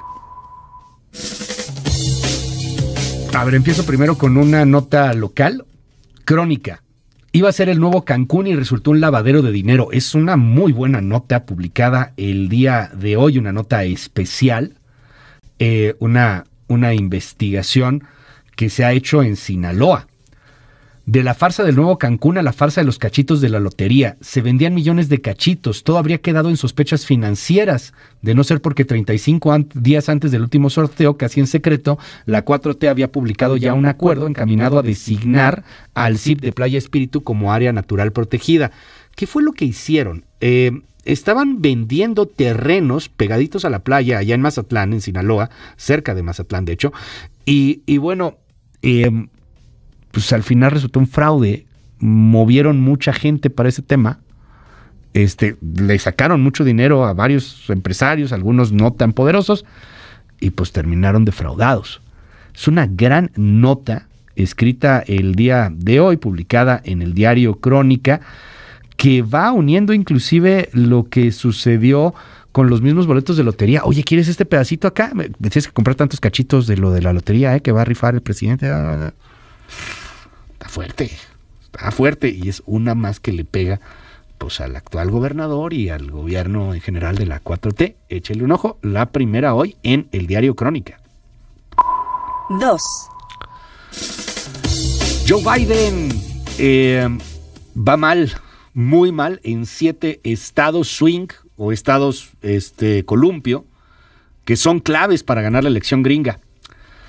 Joe Biden estaría abajo en seis de los siete estados swing. Esto lo publica hoy The Wall Street Journal en otra encuesta.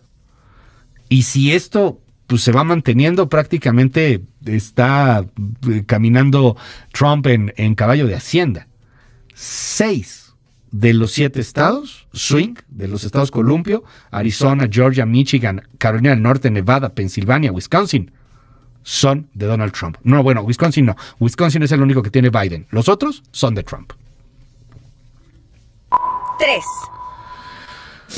Gran cobertura hay tanto en Al Jazeera como en el New York Times sobre lo que sucedió con este error que reconoce Israel bombardeando ayuda humanitaria en Gaza. Mataron a siete empleados de un chef reconocidísimo en España que está llevando ayuda humanitaria a Gaza.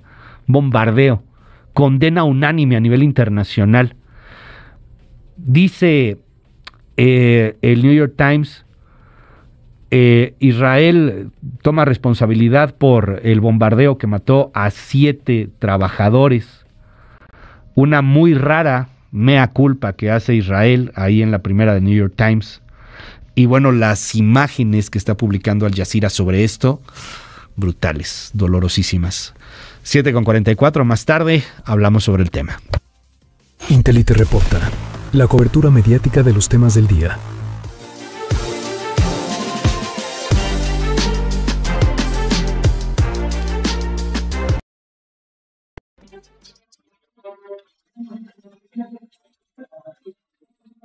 Era 1897, fallecía el compositor alemán Johannes Brahms, Tenía 63 años de edad.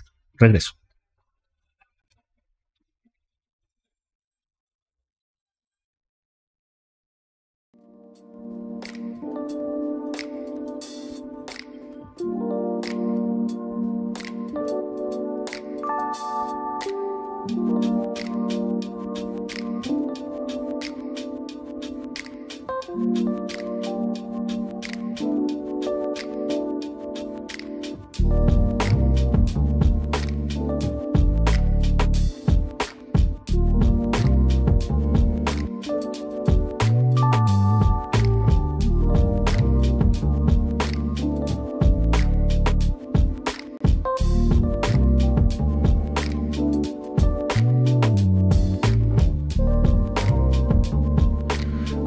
Países de más tradición de debate?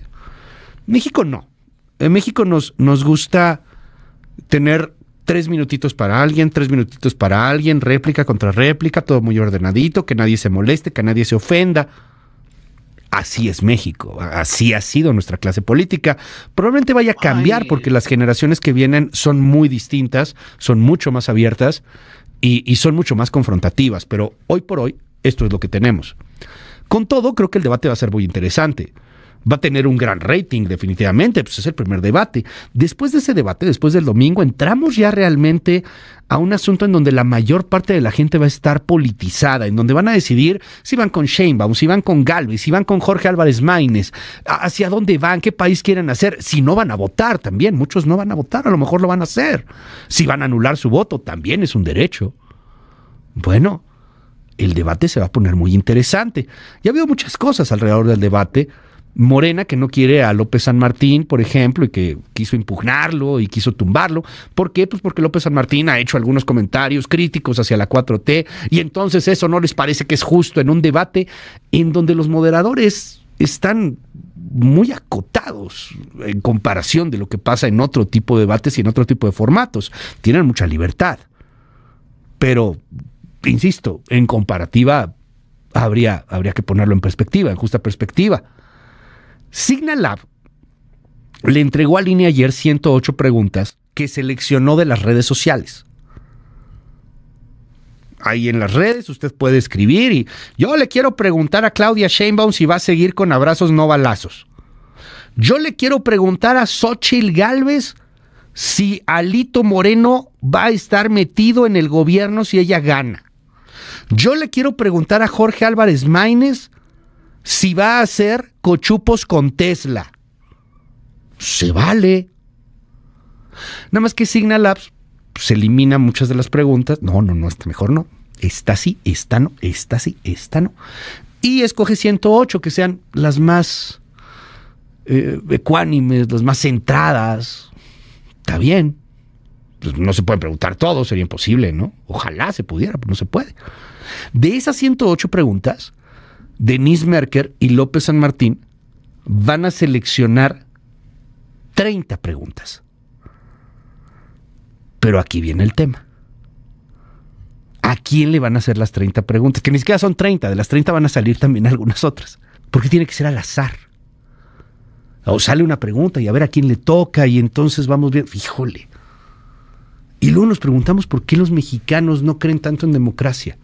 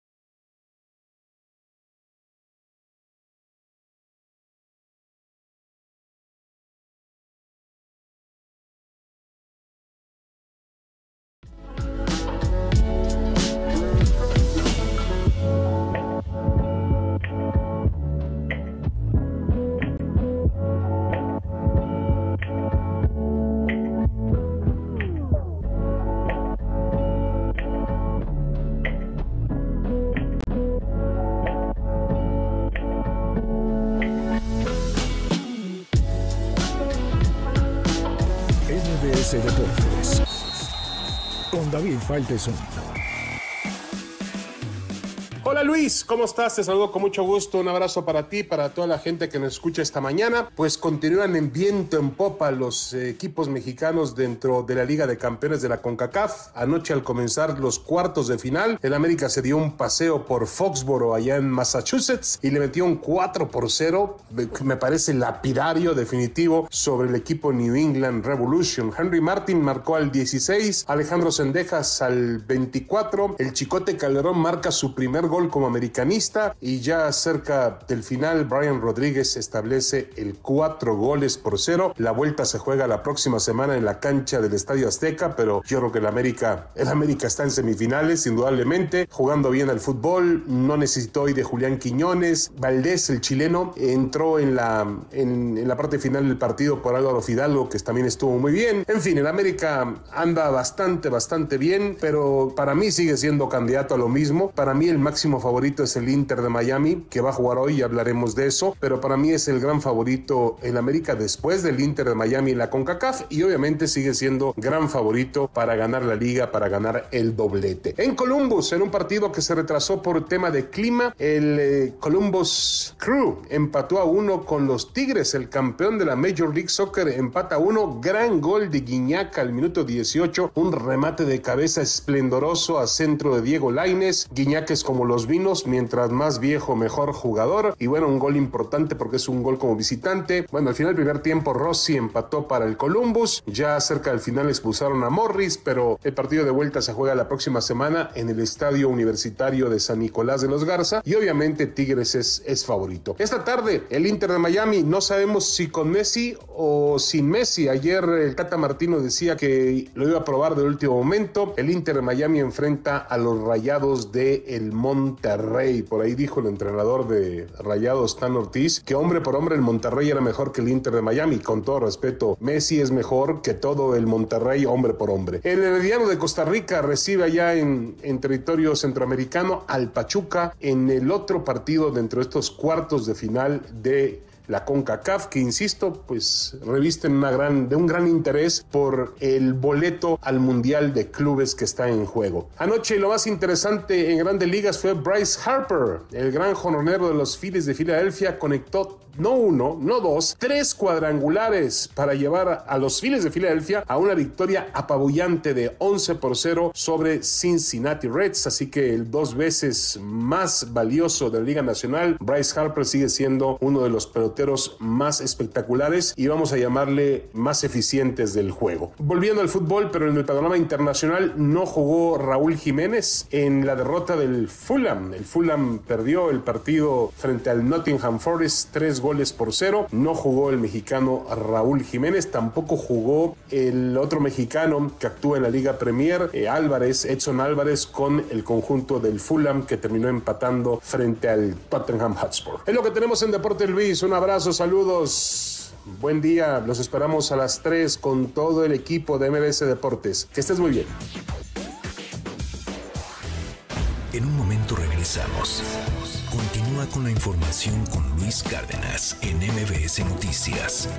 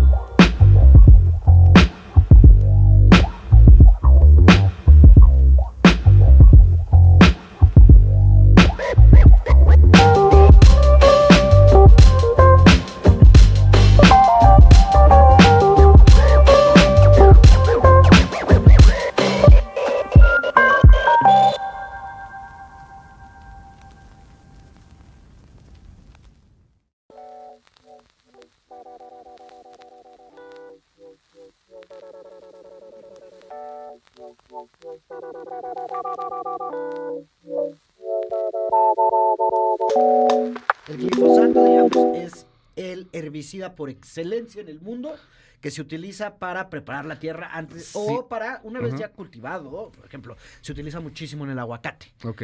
Para limpiar de maleza el plantío. Es por mucho este un insumo básico, digamos, de cualquier tipo de agricultura tecnificada. Ok. Los estudios a la fecha no han demostrado que tiene un efecto adverso para la salud. Entonces, este grupo de, digamos, más radical de la 4T quería prohibirlo y dice, no, pues porque nosotros tenemos que regresar a nuestras técnicas ancestrales y, el, y no usar glifosato. ¿no? Obviamente hay que usarlo con cuidado, obviamente hay medidas, se tiene que mitigar. Sí, claro. Pero si tú mañana le prohíbes el uso del glifosato, quiebras al sector agrícola. No, te truena. A ver, te truena, porque necesitas hacer una producción masiva. que sí es lo que hay en Conacit, que quieren que haya pequeñas parcelas casi de autoconsumo y de agricultura de subsistencia que, como tú dices, condena a la gente, no a la pobreza, a la pobreza extrema.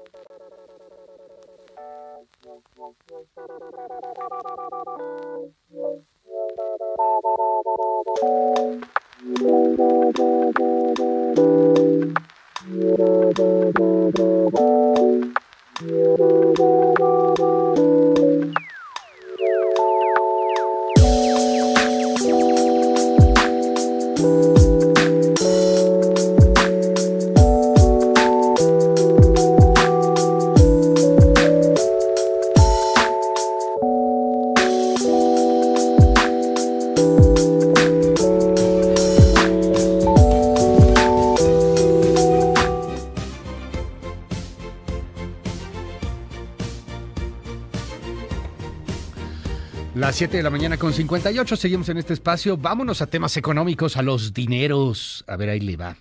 Varios temas que están ahí en, en la palestra de los dineros.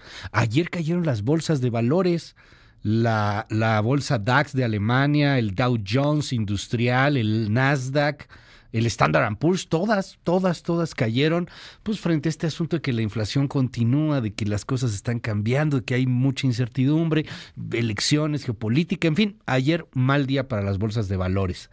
Le cuento que aquí en México los analistas están pronosticando un crecimiento de 2.4% para este año. Pero ahora sí que como siempre el gobierno tiene otros datos. Andan muy optimistas y andan gastalones en este año. Vámonos con Pedro Tello. Economía y finanzas con Pedro Tello Villagrán.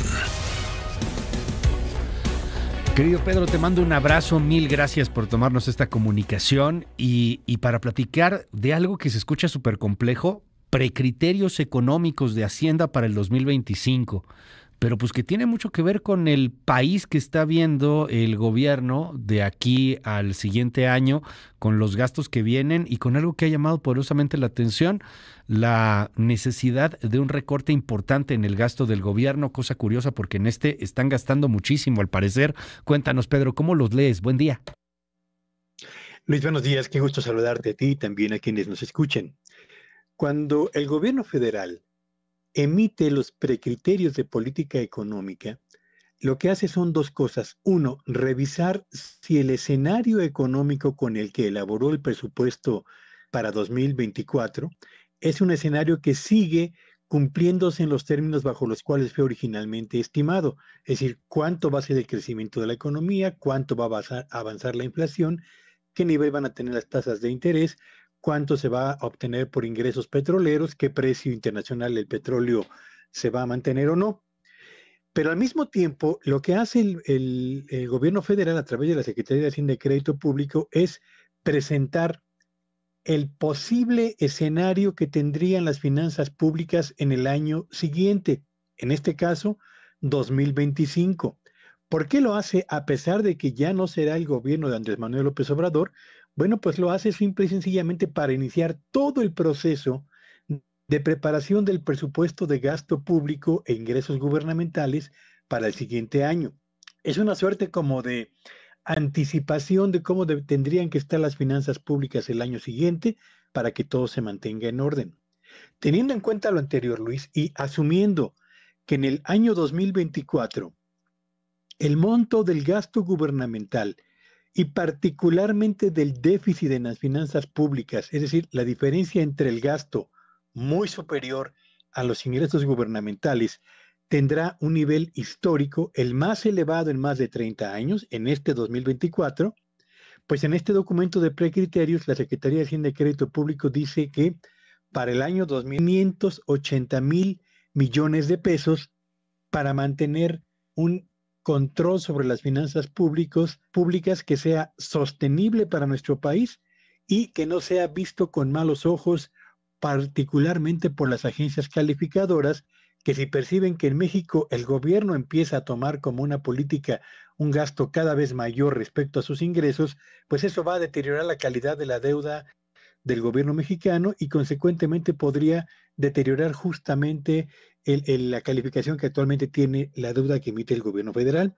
Pero la pregunta es, ¿realmente se pueden recortar 580 mil millones de pesos de un año a otro en el gasto público? Porque, a ver, Usted no le va a decir a los maestros, ni a los médicos, ni a las enfermeras, ni a los policías, ni a los servidores públicos que les va a recortar el gasto en el año 2025 porque es preciso restablecer el control sobre el déficit público. Usted lo que tendrá disponible para recortar el gasto público son, por una parte, el presupuesto para inversión pública en obras de alcantarillado, en obras de alumbrado público, en caminos en puentes, en carreteras que requiere un país como el nuestro, al mismo tiempo que la construcción de hospitales y la mejoría en el sistema, en las instalaciones o la infraestructura educativa, escuelas, para poder ser competitivos y para poder atender los requerimientos que la propia Constitución le impone al gobierno para dotar a la sociedad de servicios públicos básicos. Pero si usted hace un recorte en la inversión pública en esto que le acabo de señalar, Imagina el tamaño que esto va a tener de golpe negativo sobre el comportamiento de la economía mexicana. No va a haber pedidos para proveedores del sector público, no va a haber actividad para buena parte de la industria de la construcción y tampoco para los eh, fabricantes de materiales para la construcción. Y entonces lo que esto va a provocar es un frenón de la economía mexicana muy fuerte. Esto es lo que sucedería si efectivamente se realiza un recorte de 580 mil millones de pesos para llevar el déficit de las finanzas públicas a un nivel que sea estable y que no genere inquietud en el plano nacional y en el plano internacional. Pero la Secretaría de Hacienda y Crédito Público nos dice, no hombre, no se preocupen, vamos a hacer ese ajuste en el, en el gasto público por una simple y sencilla razón. El aumento en el gasto gubernamental que tendrá lugar en el 2024 y que generará ese déficit tan importante que pretendemos eliminar el año siguiente, tiene que ver con la culminación del tren Maya y con toda una suerte de proyectos de infraestructura, entre ellos la ampliación del tren, perdón, el tren interurbano México-Toluca, el corredor transísmico del Istmo de Tehuantepec, etcétera, que son grandes proyectos de infraestructura para los cuales el gobierno decidió meter toda la carne al asador en materia presupuestal en este 2024 para no heredar a la siguiente administración proyectos de infraestructura que sean inconclusos como ocurrió, por ejemplo, con el tren México-Toluca de la administración de Enrique Peña Nieto a la administración de Andrés Manuel López Obrador, que fue una obra que terminó siendo inconclusa. Bueno, pues el gobierno actual dice, no le vamos a heredar ningún obra, ninguna obra inconclusa al siguiente gobierno. Así que el gran gasto que se va a realizar en el 2024 es un gasto extraordinario y de una sola vez, porque al terminar estas obras de infraestructura dejará de existir y retornaremos a un nivel del déficit como el que todo el mundo espera. Hasta ahí, en palabras, todo está bien, pero me fui a revisar cuánto va a invertir el gobierno federal en este 2024 en los proyectos de infraestructura que considera prioritarios y que serían gastos de una sola vez para no heredar obras inconclusas. Y resulta, Luis Auditorio, que eso significa que en el año 2024 se estarán invirtiendo 223 mil millones de pesos, que sigue siendo una cifra mucho menor a los 580 mil millones de pesos que el gobierno señala, o la Secretaría de Hacienda señala que tendría que recortarse en el año 2025 para mantener otra vez el déficit en las finanzas públicas en un nivel aceptable. ¿De dónde van a salir los más de 356 mil millones de pesos adicionales que tendría que recortar el gobierno? Como le dije, no se lo van a recortar a los sueldos de funcionarios públicos y tampoco se lo van a recortar al pago de la deuda. En consecuencia, muy probablemente se lo van a recortar a inversión pública y eso significa servicios públicos de menor calidad en el 2025 y una papa caliente, muy caliente, Luis, para quienes integren el gabinete económico del próximo gobierno de la República. A ver, de ese tamaño es el desafío. Sí, no, de ese tamaño es el desafío y de ese tamaño puede llegar a ser el desastre. Ahora sí que pobre Xochitl Galvez, pobre Claudia Sheinbaum, o, bueno, en dado caso que algo muy raro pase, pobre Jorge Álvarez Maínez, para que lleguen y, y, tengan muy poco margen de maniobra. Es más, ni siquiera margen de maniobra, tienen que recortarlo. Van a tener menos dinero porque están gastando demasiado dinero, querido Pedro. Y algo bien interesante, de eso no hablan, ¿eh? de, de eso no dice ninguno de los candidatas y el candidato. Y y tendrían que estar diciendo algo súper clarito. Si quieren generar muchos de los programas que están haciendo, si quieren cumplir muchas de esas promesas, no hay de otra. Tendrían que buscar una manera de financiarse y eso es subir en impuestos, cosa que no es nada, nada atractiva, ¿no? Ese es el gran, el gran debate, Luis. A ver, eh, quiero hacer tres precisiones importantes muy rápidamente. Primero, ¿hay condiciones en este momento para suponer que habrá una bomba económica que nos lleva a una crisis inevitable en el 2025? La respuesta es no.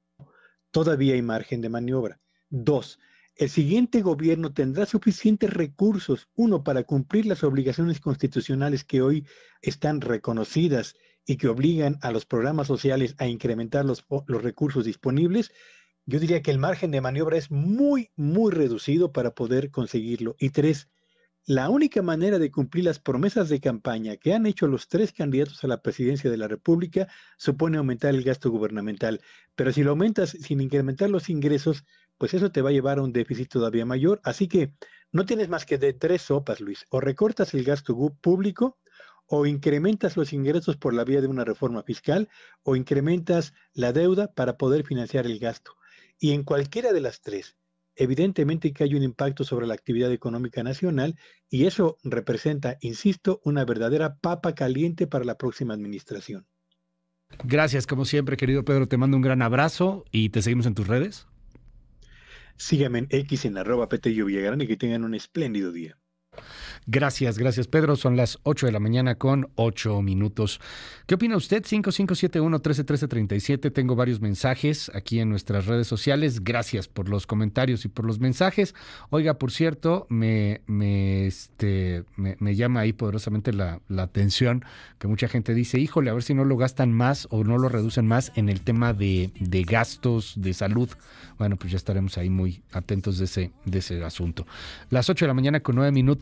Rápidamente, el eh, presidente del Consejo Coordinador Empresarial, eh, Paco Cervantes, habló sobre el tema del nearshoring el día de ayer. Esto es también información económica eh, relevante. Y bueno, pues señaló que es una palanca real para el desarrollo interno y la proyección mundial. Sin embargo, bueno, pues se enfrentan a retos importantes con respecto a pues la elección estadounidense, las posturas económicas, etcétera. Escuche lo que dice Paco Cervantes Para que el nearshoring se traduzca en una verdadera cauda de inversiones de alta tecnología hacia nuestro país, se requiere que exista una amplia oferta de seguridades y servicios en temas como el Estado de Derecho, infraestructura, compromiso con la sustentabilidad, que eso es muy importante, políticas de género y servicios de alto nivel en materia de transformación digital. Sabemos que para potenciar la oportunidad de la relocalización de empresas no basta con lo alcanzado y que tenemos que realizar un esfuerzo mayor si realmente queremos que esta oportunidad coyuntural se convierta en un impulso estructural que signifique una nueva oportunidad de transformar económicamente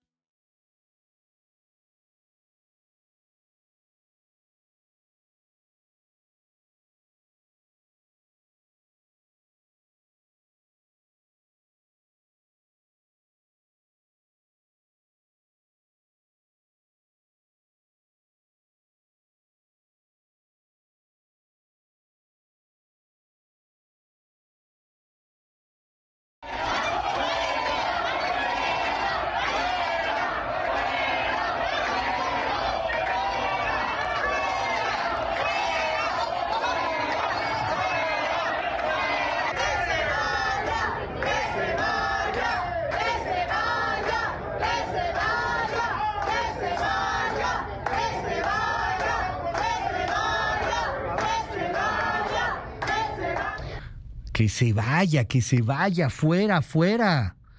Y se tuvo que ir. rapidito terminó su conferencia, ni la acabó, ¿eh? vámonos.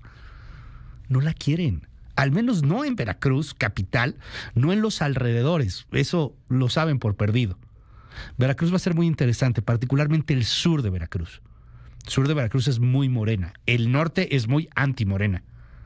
Y mire, en Veracruz, usted levanta una piedra y encuentra tres, cuatro políticos, ¿eh? Y, y, los veracruzanos les encanta la grilla, pero les fascina. Entonces, pues obviamente que le están cobrando facturas a un Cuitlagua García que ha sido patético. Y, y ahí tiene usted la consecuencia. La cara de Rocional es maravillosa. Es, es lo que cuesta la soberbia. Ah, ¿Cómo que aquí no me quieren? No, pues no claramente no te quieren ahí. Además, políticos, ¿por qué van a arruinar los desayunos de las personas? No quiere desayunar tranquilamente, echarse un café lechero con una conchita ahí al café de la parroquia en Veracruz y llegan estos. Ah, la... Ah, pues con toda razón, fuera, fuera. La sacaron a patadas. Vámonos. Por cierto, le fue muy mal después en otro evento que tuvo ahí mismo en, Veracruz, eh, por el malecón, si no me equivoco, llegó mucho menos de la gente que esperaban. Fuera, fuera, fuera, le gritan a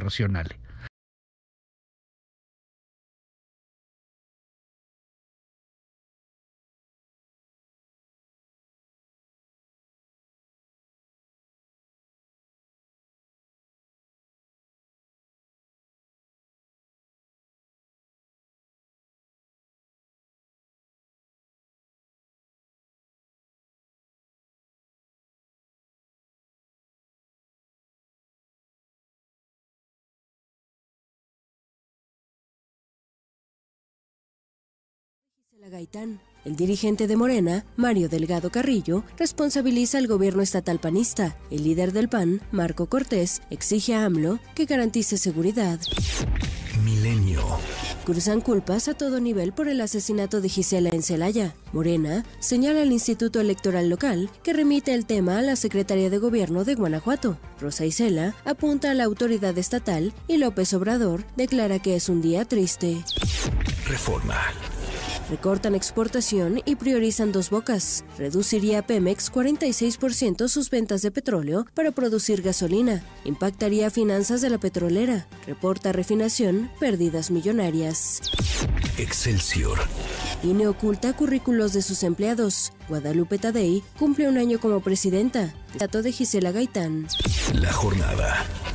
En Guanajuato se negó la custodia a Gisela Gaitán, secretaria de Seguridad y Protección Ciudadana. AMLO, Sinue Rodríguez, como que gobierna pero no manda. El financiero. Presentará Consejo Coordinador Empresarial plan con 14 objetivos al nuevo presidente. Busca aprovechar la oportunidad histórica del nearshoring para el país. El economista.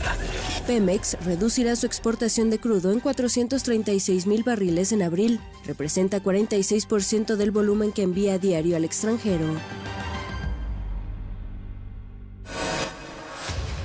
MBS Radio presenta el resumen informativo con Luis Cárdenas.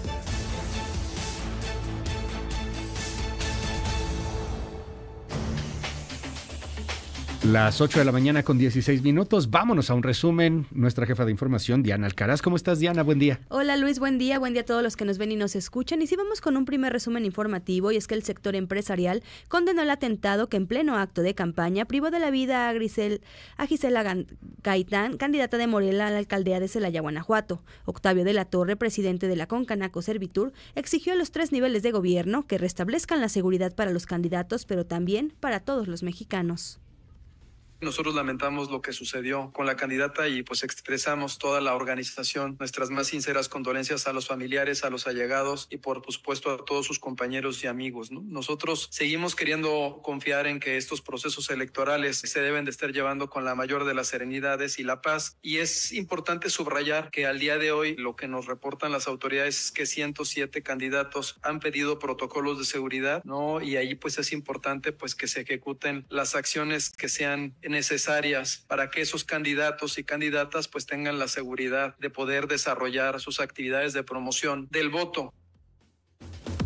Y el presidente nacional del PAN, Marco Cortés, hizo un llamado al INE para que garantice el proceso electoral seguro y en paz. Al considerar que se está teniendo el proceso electoral más violento en México, urgió también al gobierno federal a un cambio de timón en materia de seguridad y afirmó que el crimen organizado está palomeando a los aspirantes lo que está ofreciendo el Instituto Nacional Electoral simplemente pues se convierte en inoperante porque lo que está mal es el clima de violencia e inseguridad. ¿De qué sirve que traigas una, dos personas si te van a agarrar en cualquier mercado, en cualquier recorrido, en cualquier tianguis, cuando el crimen para el crimen organizado simplemente les eres incómodo, no eres el indicado?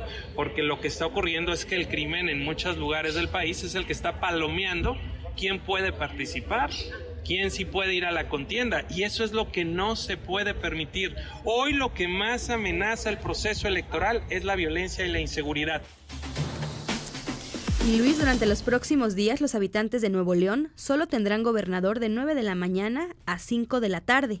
Lo anterior lo anunció el mismo jefe del Ejecutivo Estatal, Samuel García. Detalló que los cambios en su horario de trabajo son para que una vez que concluya su jornada laboral pueda hacer publicaciones y comentarios relacionados a la elección del 2 de junio en la que participa su esposa, su esposa e influencer Mariana Rodríguez como candidata a Monterrey por Movimiento Ciudadano. Entonces Luis, nada más de 9 de la mañana a 5 de la tarde van a tener gobernador allá en Nuevo León, pero así lo dijo Samuel García. Voy a tener que dejar de dar entrevistas. La ley eh, señala que no debo subir nada en horario laboral. Fuera de mi horario laboral tengo libertad de expresión, sobre todo en las redes sociales. Voy a estar usando el Instagram y el Facebook, que es lo que más usamos los regios. Y pues recordarles que mi horario laboral es de 9 a 5 de la tarde. En ese sentido, fuera de ese horario, pues sí voy a estar compartiendo de manera personal opiniones sin violar la ley, finalmente, Luis, te comento que escasos dos meses de la jornada electoral del 2 de junio, el Instituto Electoral de Baja California canceló los debates entre candidatos a alcaldías y no ha podido garantizar los insumos indispensables para la elección, debido a la falta de recursos derivado del recorte presupuestal que realizó el Congreso del Estado y el gobernador Víctor Castro. Así lo señaló el consejero presidente Alejandro Palacios, quien desde mediados del mes de marzo alertó sobre el riesgo que enfrenta la elección. En el momento en que nosotros no podamos eh, salir de los compromisos pactados, estaríamos en, no en riesgo, pero sí habría, sí se correrían algunos riesgos. Por ejemplo, vamos a suponer, tenemos en, en todos los órganos desconcentrados servicio de Internet, ¿no? Pero si no, por ejemplo, si no tenemos para contratar servicio satelital que pudiera entrar en determinado momento que se cayera el Internet, para eso pues, pues tendríamos una falla grave si no tenemos ese servicio, pero no podemos contratar hasta que no estemos seguros de contar con el recurso. Por ejemplo, la misma corriente eléctrica, ¿no? Solamente tenemos que tener plantas de energía para poder eh, solucionar una posible falla en el servicio eléctrico, pero si no tenemos el recurso, pues entonces estaríamos corriendo el riesgo. Entonces hay muchos ejemplos como esos que podemos citar que en determinado momento podrían poner en riesgo el resultado. Muchísimas gracias, Diana. ¿Te seguimos en tu red? Sí, me pueden encontrar en Twitter ahora ex como Diana Alcaraz de. Muchísimas gracias, es Diana Alcaraz. Son las 8 de la mañana con 20 minutos. Vámonos a la información del México roto de todos los días. Oiga, de entrada, seguramente va a haber mucho ruido en la prensa tradicional, en la prensa en redes sociales y hasta en la prensa de espectáculos, porque hoy a las 10 de la mañana se va a llevar a cabo una audiencia de vinculación a proceso por abuso sexual en contra de Kalimba. Esto va a ser en la unidad de gestión número 10 del reclusorio Oriente. Esté atento a esta información, vamos a estar atentos también aquí. Pues Kalimba no, no, no es menor, pues un artista muy famoso, ya tuvo en alguna ocasión una situación muy similar.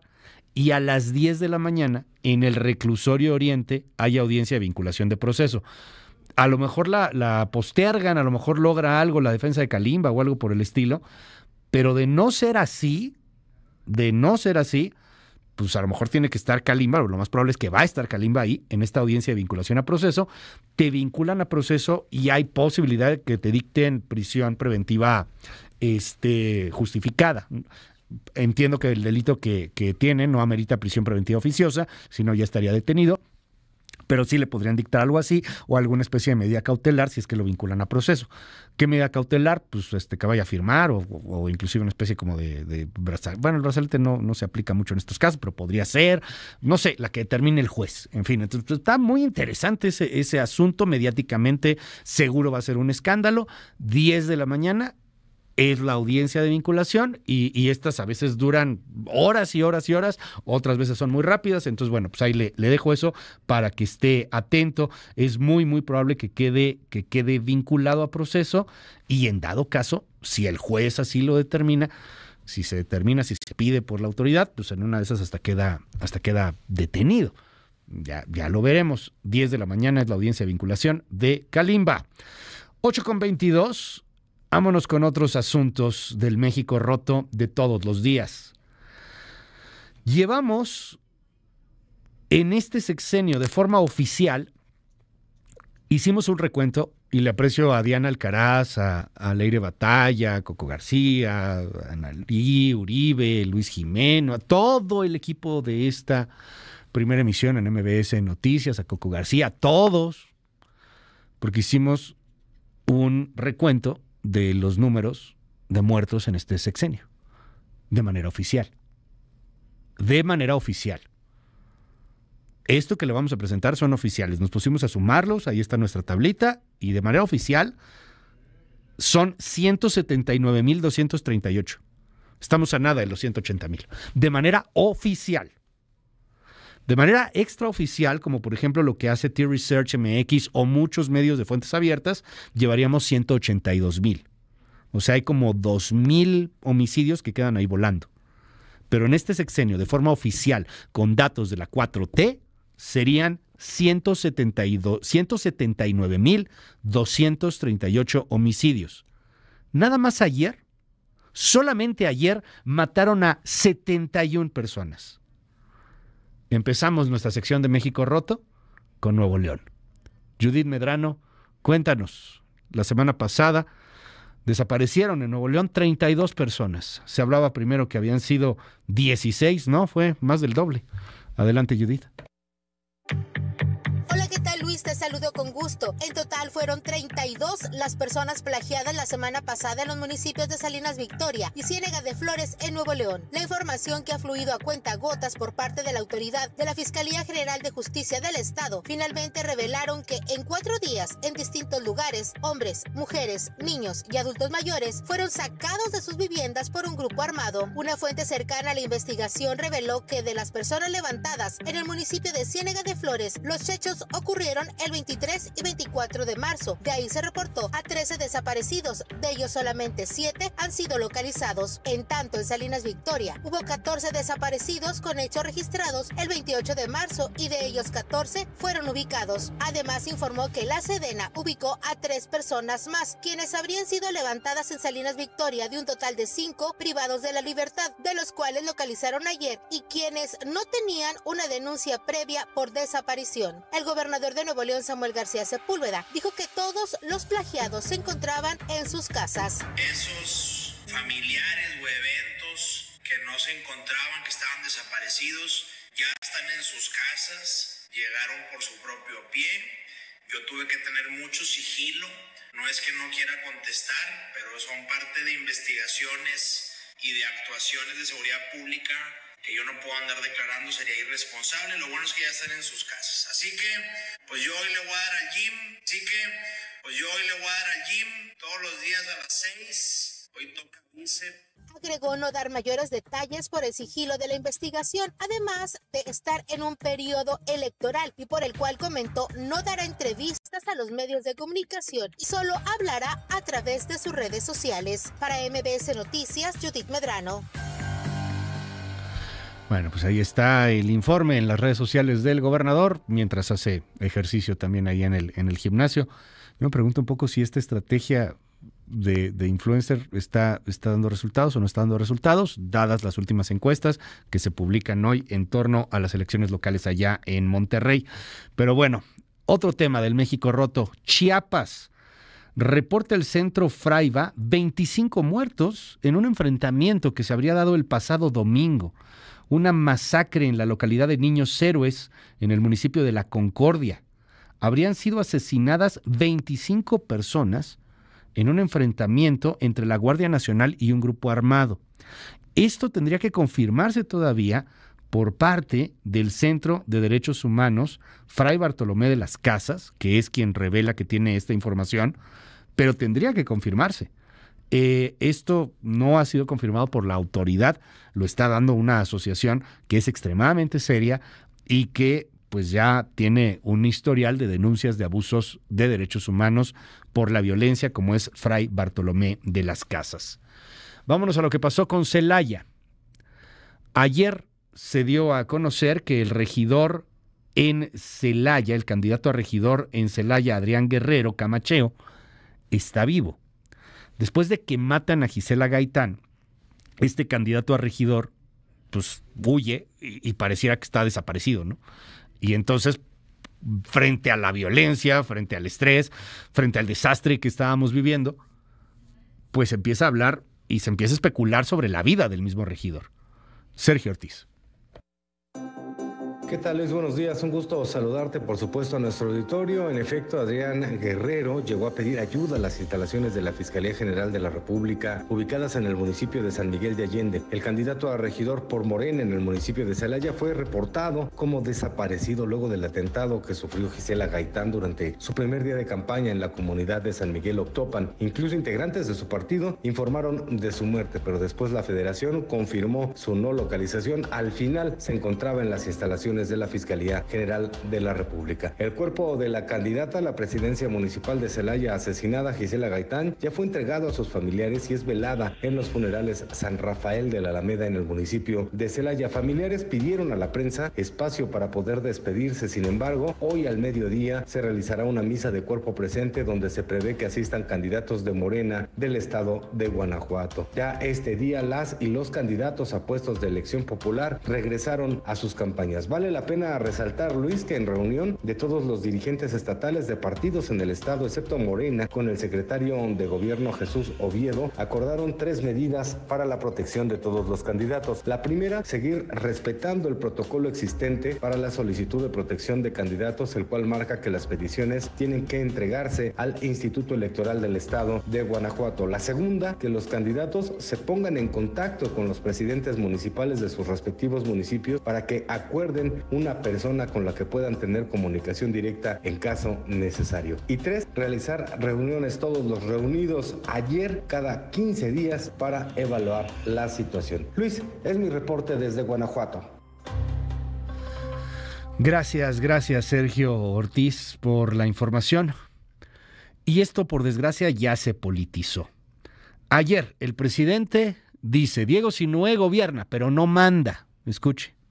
Y hay una relación ahí muy rara, como un contubernio, como que hay un grupo que manda y que tiene más poder que el propio gobernador. ¿Ese grupo que manda es un grupo criminal o un grupo de políticos? no sé, pero como que el gobernador gobierna pero no manda, para decirlo claro. Lamentable y es una buena persona, pero ya no podemos callar, no podemos callar, porque no podemos ser tapadera de nadie. Máxime cuando está de por medio la vida de las personas.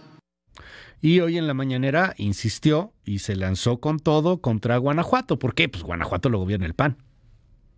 Es muy lamentable lo que sucede en Guanajuato. Desde hace años tienen el primer lugar en homicidios y pues es un asunto cotidiano. Nada más que los medios de manipulación no tratan el tema. No lo trata Televisa, no lo trata Azteca, no lo trata Imagen, no lo trata el Reforma, no lo trata el Universal, no lo trata Radio Fórmula, así la W, etcétera, etcétera, etcétera, etcétera. Hay una relación de componendas y de complicidades.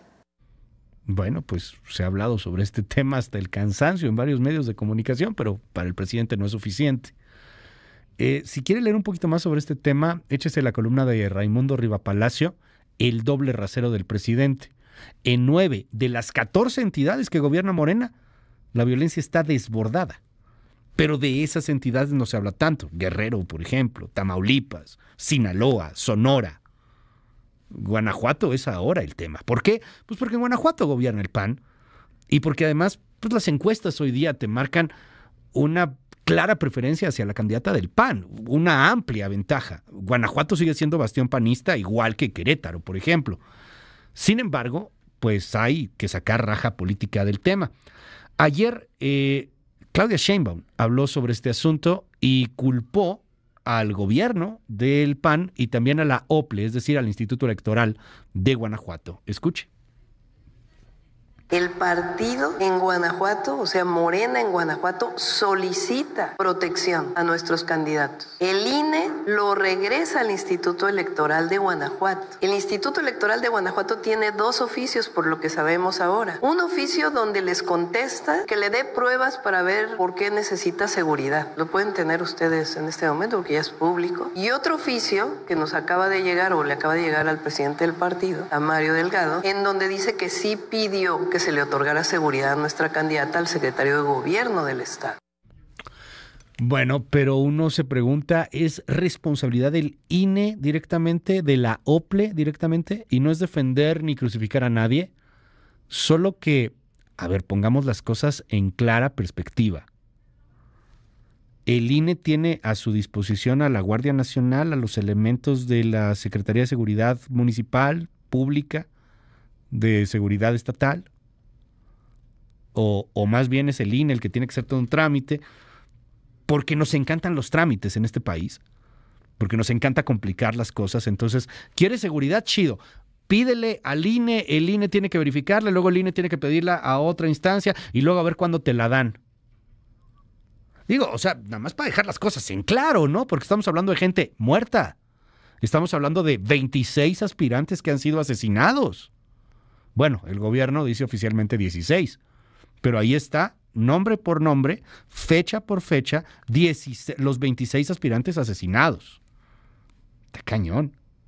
Bueno, respondió el OPLE, de hecho, respondió allá el Instituto Electoral en Guanajuato, esto fue lo que dijo no tenemos una solicitud que se haya presentado ante el Instituto Electoral del Estado de Guanajuato de medidas de protección por parte de la candidata, que sí hubo, hubo un oficio que nos remitió el Instituto Nacional Electoral acerca de un escrito que presentó Morena solicitando protección para diversas candidaturas. La fecha en la que se recibe el escrito, eh, aquí en Guanajuato aún no contábamos con candidaturas, de hecho ni siquiera había iniciado el periodo de registro de candidaturas a los ayuntamientos. Nosotros como Instituto Electoral no brindamos brindamos protección, nosotros no tenemos facultades o atribuciones en materia de seguridad. Lo que tenemos es la atribución de canalizar la solicitud a las autoridades correspondientes. No tenemos ni los elementos, ni las competencias, ni las atribuciones para atender las solicitudes de manera directa 8 con 35 minutos. También habló Xochil Galvez sobre este tema el día de ayer. Lo lamento muchísimo, de verdad, pues uno que anda en la calle, uno que es candidata sabe lo que se está jugando y en ese sentido yo le mando un pésame a su familia, eso tiene que parar. Yo soy en un México donde ser candidato no te cueste la vida, ya hay un buen número de candidatos en eso.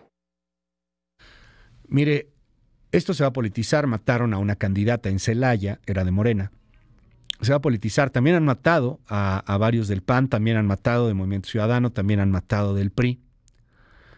Y aquí no se trata de competencia saber a quién matan más. Aquí se trata de que veamos quién diablos es el enemigo y cómo nos podemos poner de acuerdo entre la sociedad para enfrentar a ese enemigo. ¿Qué pasó en Colombia para que la sociedad en su conjunto se uniera, saliera a la calle y exigiera justicia y exigiera cero impunidad? ¿Qué pasó en Italia cuando todo el proceso, cuando tumbaron a jueces y a políticos que estaban ligados a la mafia? No tenemos que estar buscando el hilo negro, ¿eh? ¿Por qué, por qué no nos sorprende ya? ¿Por qué si matan a una candidata no nos sorprende? ¿Por qué si asesinan a una niña no nos sorprende? ¿Por qué nos indigna tan rápido? ¿Por qué nuestra indignación es de mecha cortita? Sí, explota, pero se apaga. ¿Qué, ¿Qué, necesitamos para salir? ¿Qué necesitamos para entender que el país se nos está yendo de las manos? ¿En qué momento tenemos que ser empáticos con el otro mexicano? Con el que está en Chiapas, por ejemplo, que pudo haber estado en la Concordia hace unos días, si es que se confirma esta masacre de 25. O, con la gente en Sinaloa, que dice su gobernador que fue llamada por el crimen organizado. Les, les invitaron a una amable reunión, ¿verdad? Esto es más de chairos y fifís. Esto es de mexicanos. Y créame, somos más mexicanos. Antes que chairos, antes que fifís. Creo yo, ¿no?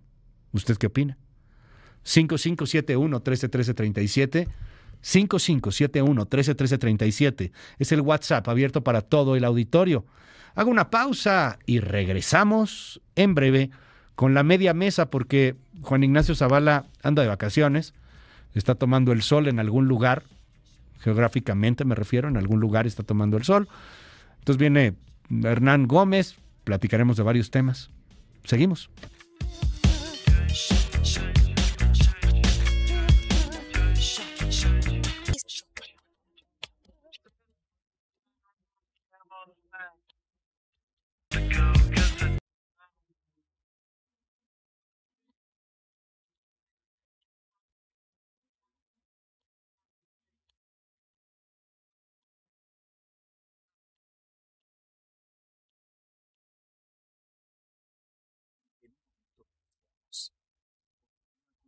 Información con Luis Cárdenas en MBS Noticias. Lo mejor de México está en Soriana. Milanesa de res, pulpa blanca, 158.90 el kilo. Martes y miércoles del campo de Soriana. Abril 3, aplica restricciones. Este gobierno que ya se va, destruyó el seguro popular que sí funcionaba. Como presidenta, lo vamos a relanzar y si el gobierno no pudiera atenderte, recibirás la atención en hospitales y farmacias privadas sin costo. Tendrás un médico familiar que te cuide a lo largo de tu vida.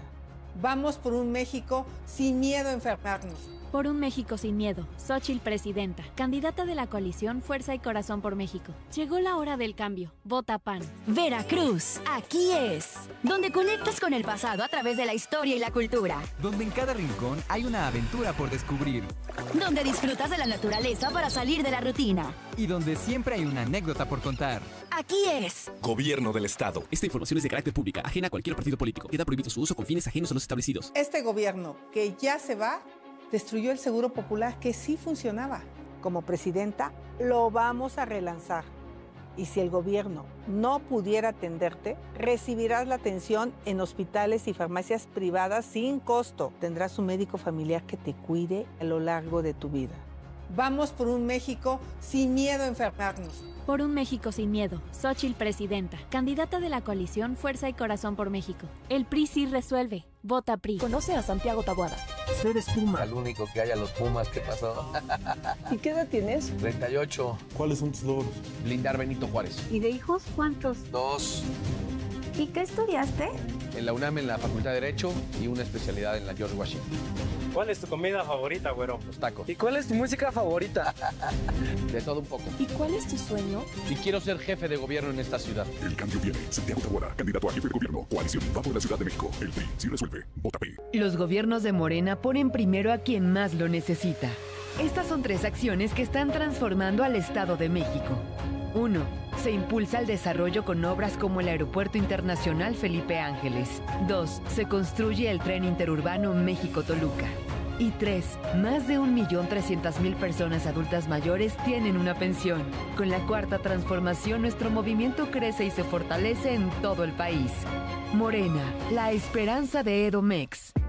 Primer debate presidencial en vivo por MBS TV este domingo a las 8 de la noche. Conoce las propuestas de Claudia Sheinbaum, Jorge Álvarez Maínez y Xochitl Galvez. Además, el especial Elecciones en México 2024, conducido por José Cárdenas, desde las 7 y media de la noche por MBS TV 6.4 TV abierta, MBS Hub y Dish. Habla Claudia Sheinbaum. Este 2 de junio, el pueblo de México solo tiene dos opciones. Continuar y avanzar con la transformación o regresar al pasado de corrupción y de privilegios. Dicho de otra forma, construcción de la paz o guerra. Derechos o privilegios. Un México para todos y para todas. Un México para todos. Sigamos haciendo historia con la transformación.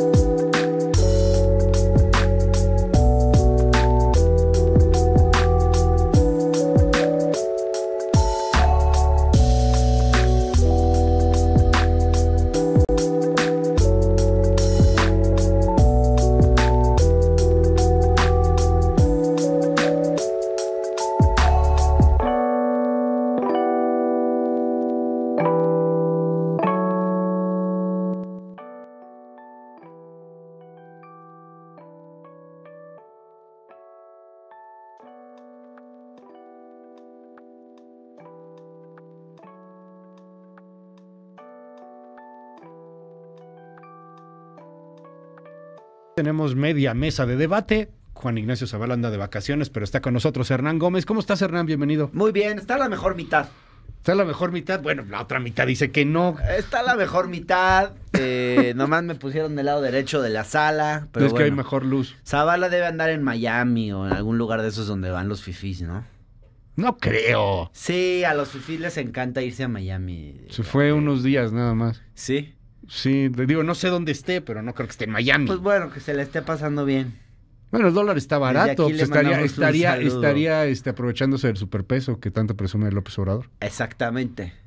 Entonces, Se bueno. quejan, pero bien que disfrutan de los beneficios. Oye, hay varios temas que están en la mesa. Debate presidencial viene el próximo domingo. Sí. Fíjate que mucha gente nos está escribiendo desde hace tiempo y nos dice, bueno, ¿cómo sabe uno quién gana el debate? Yo le quiero ser muy franco a toda nuestra audiencia. Gana el debate quien se le pegue la gana a usted que gane el debate. Pero tú vas a decir que va a ganar Claudia Sheinbaum. Y Zavala va a decir que va a ganar Xochitl Galvez, por ejemplo. No, yo siempre cuestiono la idea de qué significa ganar un debate. Pues es ¿no? que- Es como, nos peleamos, no, eh, me peleé con no sé quién, ¿y quién ganó? Pues nadie gana, hombre. Cuando te peleas nadie Pues gana. sí, tus Y- amigos y- van a decir que ganaste tú. Sí, y en un debate, pues depende que, con qué criterios midas las cosas. Ajá. Eh, dicho esto, creo que si lo que vamos a medir es nivel intelectual, calidad de propuestas y eso, Pues yo creo que Claudia trae, desde hace rato ha ido consolidando un perfil mucho más serio, mucho más de gobernante. ¿Le crees que va a gobernar? A Xochitl no se la cree ni ella. O sea, tú para, para poder proyectar, eh, digamos, una imagen, o sea, eso es que es muy importante en una campaña. Ahora sí que, aunque suene muy tonto, comportarse como ganador antes de serlo. Ok. Yo veo que Claudia se comporta ya como la futura presidenta. Cambió su manera de hablar, de vestirse, de... de- y, y, y Xochitl no. Xochitl sigue como de Reven, divirtiéndose, haciendo chistecitos. eh, y, y- y- y con falta de seriedad, insisto. O sea, no hay mucha seriedad en sus propuestas. Ha ido ha ido sacando algunas cosas. Ahora vi unos, unos, eh, unos spots donde saca una tarjeta para que te atiendan en hospitales públicos y privados. Yo no sé de dónde va a sacar presupuesto para que te atiendan en hospitales privados. En fin, pero bueno, ha, ha ha intentado, de repente tiene momentos en los que se la ve mejor que otros, pero es una campaña más bien errática y normalmente siempre está cayendo en error. La clase política está haciendo campaña para la clase política. La gente que está fuera de este rollo, la que no lee periódicos, la que no escucha el radio, la que no se informa, la que está en el centro, que es la más importante, Claro. No está siendo convencida ni por una ni por otra. Claudia está hablando para su gente, Xochitl Gálvez está hablando para su gente. Odias a López Obrador, vas con Xochitl Gálvez. Amas a López Obrador, vas con Claudia Es que es Sheinbaum. eso. La Es que está eso. en medio no hay, Hay a- muy ni quien los pele. ¿eh? Poca campaña. Está, está feo eso. Está medio muerta. ¿no? La neta sí. La verdad, la verdad, la campaña que está interesante es la de la Ciudad de México. La Mucho campaña más. federal, pues ya está tan cantado que va a ganar Claudia. Pero sí, Sí, sientes como que ese tema, o sea, que por eso no hay ese interés. Yo creo que en parte por eso, sí, yo creo que sí, Ujú. en parte, en que gran por parte eso no se arriesga Claudia a agarrar nuevos este, electores.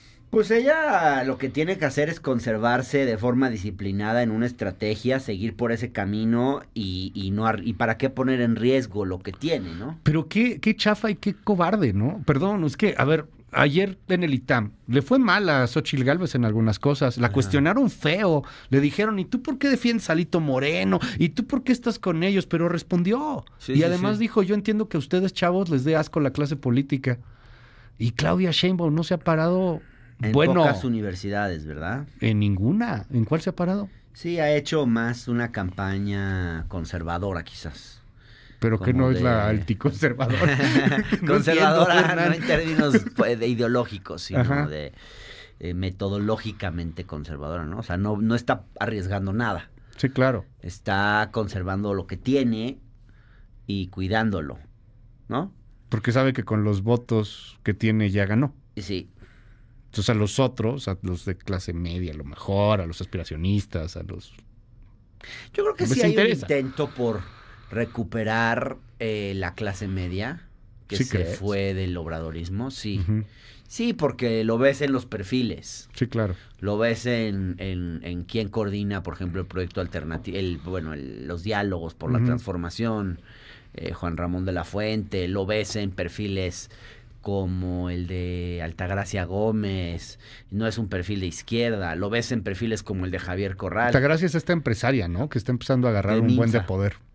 Sí, que es muy inteligente, pero que es una empresaria que está ahí para hablarle al sector empresarial. Entonces, este, yo creo que Claudia eh, no, no está yendo solo por el sector obradorista duro. Yo creo que sí está intentando también recuperar a clase media.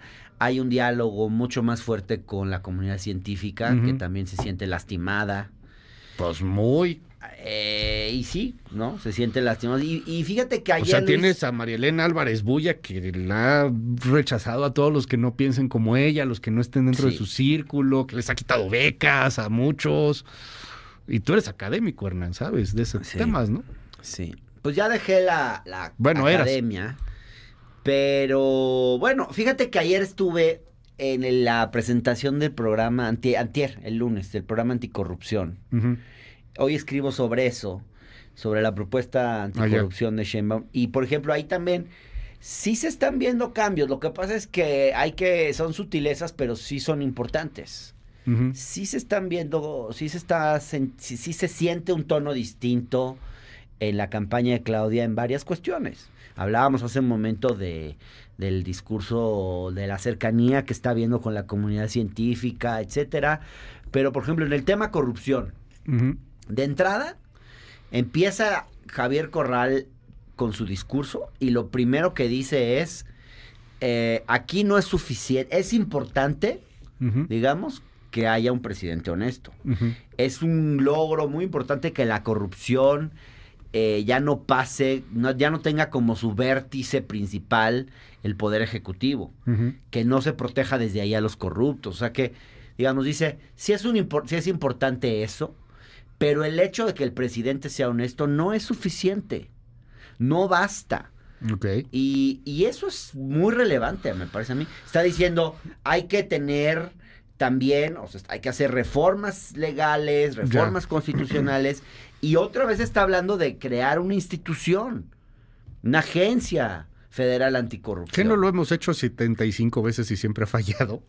Digo, no 75, No, pero... yo creo que no, o sea... Se creó el Sistema Nacional Anticorrupción y luego llegó este gobierno y Bueno, lo deshizo. No se completó, pero... No, lo deshicieron. Digo, la neta. En parte, sí. Eh, porque López Obrador no creía mucho en los diseños institucionales. Entonces está recuperando un poco el planteamiento de, no van a decir recuperemos el, el Sistema Nacional Anticorrupción porque con qué cara dices eso. Pero, Pero decir, lo van a hacer, pero lo van pero otro vamos nombre. a hacer una agencia que pueda investigar, que pueda este que pueda promover juicios, porque muchas veces, ¿sabes qué pasa también? Que la mayor parte de los casos de corrupción ni siquiera llegan a un juez, ni siquiera se llegan a judicializar. Se, se- se presentan, salen en los medios, algunos empiezan a investigar en las fiscalías. La fiscalía no tiene la capacidad de investigar. de- tiene una fiscalía, hay, hay, una, hay una fiscalía anticorrupción que ya existe. Pues era parte del Sistema Nacional Anticorrupción. Sí, pero que está muy debilitada. Es la fiscalía especializada en delitos contra la Ajá. Pero está muy debilitada. A ver. Entonces, bueno, eso, es- eso a mí me parece importante que, que vaya a haber una Es que institución. fíjate cómo se hablan tan a, a sus propios sectores que, que sí, la, en la otra parte te dice, a ver, ¿y los hijos de AMLO? ¿Por qué no investigan ahí? ¿Por qué no hablar de corrupción desde el tema? Ok, los hijos de AMLO, muy delicado el tema, va. ¿Y Sergio Carmona? Ayer salió un video con el operador de Sergio Sarmón, de Sergio Carmona, el, el rey del Huachicol, que probado está, viajaba con Mario Delgado en aviones privados, que financió campañas como la de América Villarreal en Tamaulipas. Y, y ayer salió un, un, un video en donde se ve al operador, Horacio García, si no me equivoco, diciendo 500 millones de pesos le dimos a las campañas de Morena en 2021. ¿Y qué me dices? ¿Y ¿Qué me no hablan de dices del ex Ajá. consejero jurídico Julio Sheribarra? De quien yo nunca he visto que en Televisa hablen de él. Tú que en tienes TV un Azteca libro, Hernán. Lo presentaste aquí y en muchos otros lugares. Eh, ahí y te, hay y te hicieron proscrito en la 4T, fundamental- por cierto. No, no me hicieron proscrito, eh, pero digamos, a Sí, ciertos mal. sectores les incomodó, algunos, algunos no. Eh, te diría que en privado mucha gente me felicitó, porque además mis fuentes muchas son de adentro, Pues la sí. mayor parte. Eh, pero lo que te quiero decir es, sí, claro que sigue la corrupción, claro que ha habido casos de corrupción, pero no es lo que era antes. O sea, sí disminuyó la corrupción. Sí hay una mayor separación del poder económico del poder político. No es total, obviamente, Ya. hay mucho que hacer. Y, y por eso me, me gustó la presentación del acto, porque es un reconocimiento implícito Ya. de que sigue la corrupción. ¿Cómo? Porque te voy a decir algo. Ajá. Claudia Sheinbaum, en el libro Claudia Sheinbaum Presidenta, que Ajá. alguna vez comenté aquí, que escribió Arturo Cano, no sé si lo comentamos aquí ese libro, Sí, hemos te, comentado te varios. extasiaste con ese libro. No, no me extasié tanto con sí, ese. er- este, sí, No, no, no. Ignacio. Ah, no, con el de Gracias fue con Sí. el que te extasiaste. Sí, no, no. Mira, lo, lo que me llamó la atención de ese Ajá. libro, Luis, es que eh, en una parte le pregunta el periodista a Claudia si en 2024, esto ha de haber sido en 2022, por ahí, le pregunta si en 2024 la corrupción va a seguir siendo eh, un tema importante en la discusión. Y Claudia dice, ya no. Ok. Eh, como que dice, no, eso es un tema que ya quedó atrás, que no. Y yo creo que hubo un proceso de reflexión porque esta presentación de este plan al, al te- al tener que presentar un plan con esas características, pues es porque está reconociendo que sigue habiendo corrupción y que no, Claro. y, y el caso Segalmex es un ejemplo.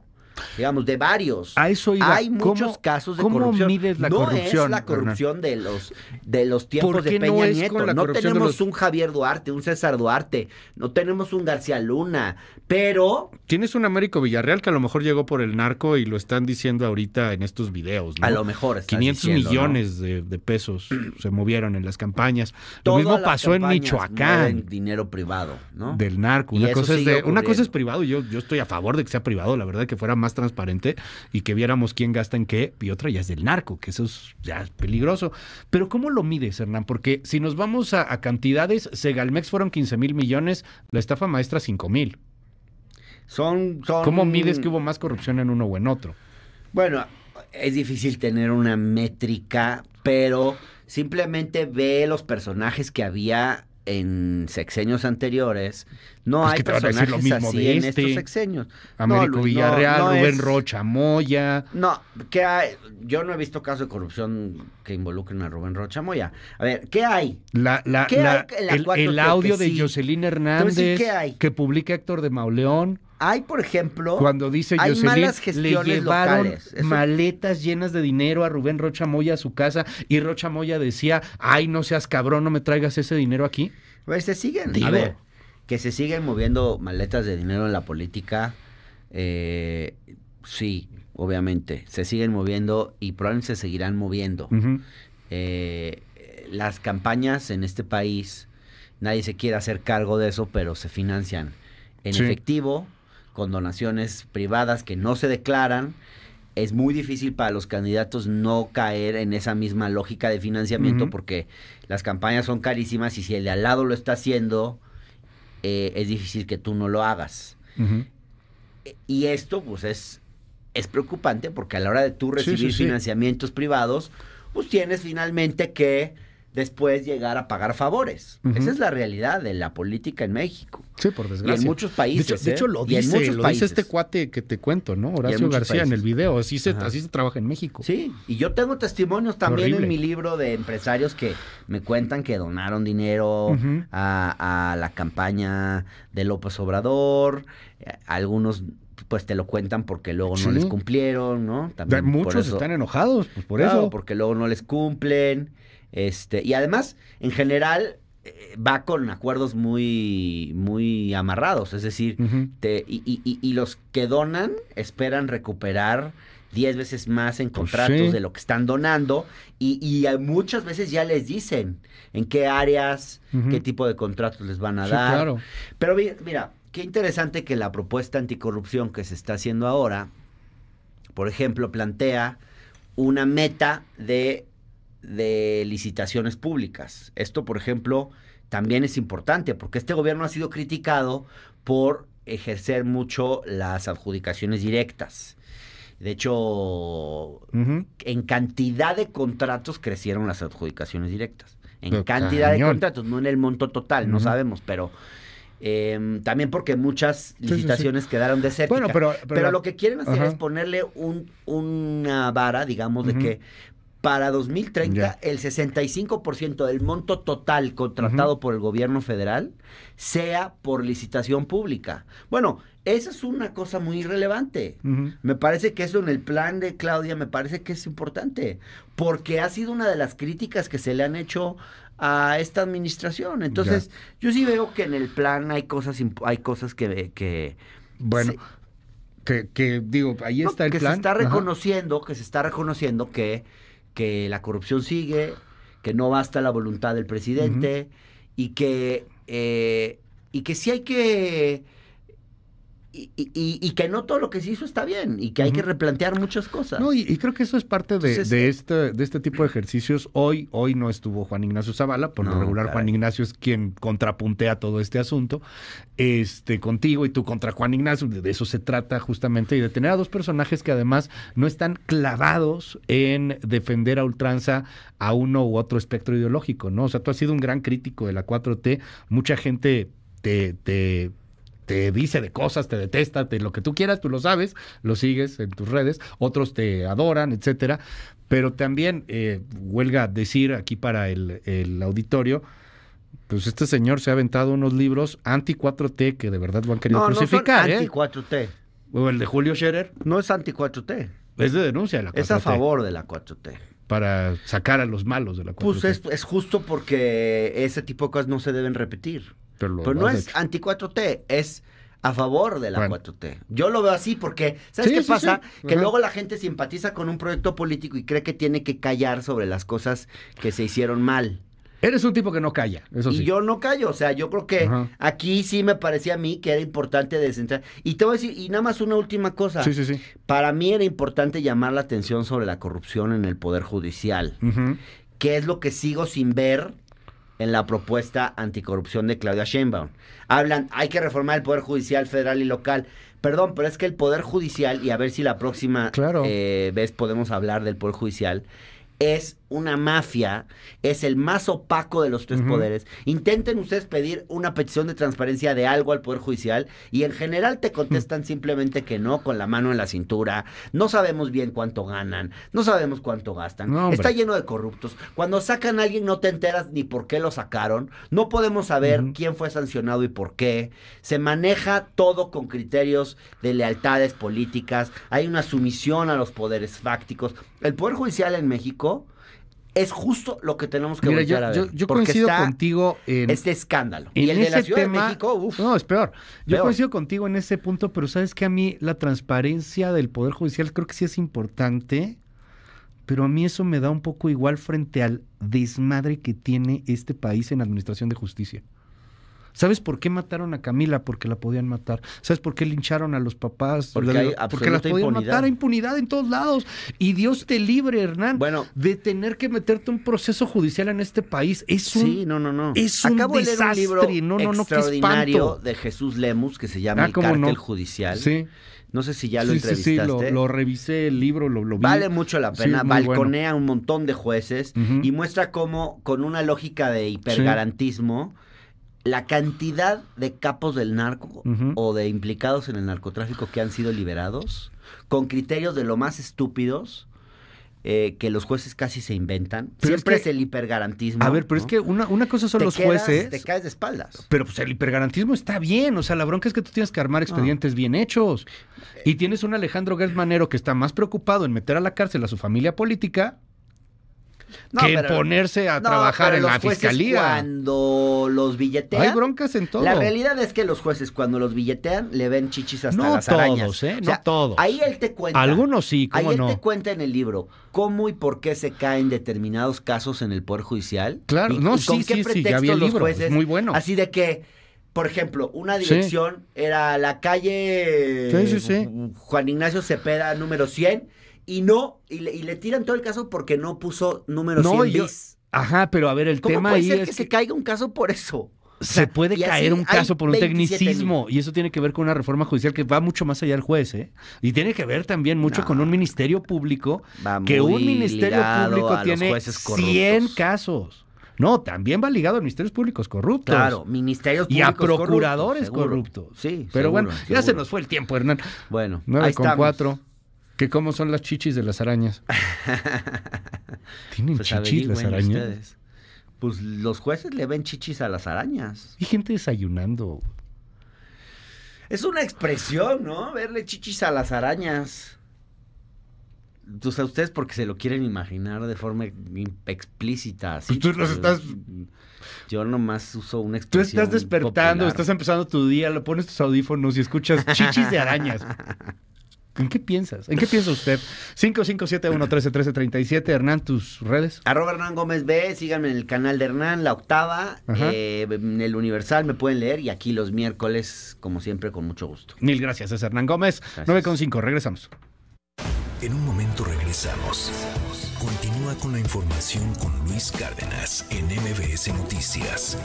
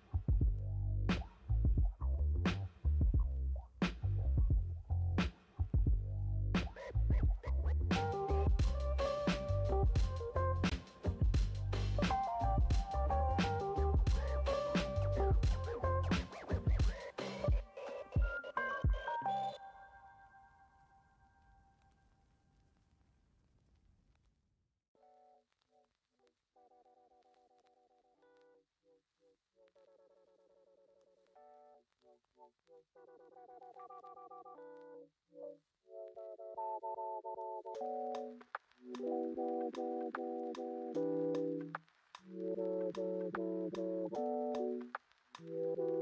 you.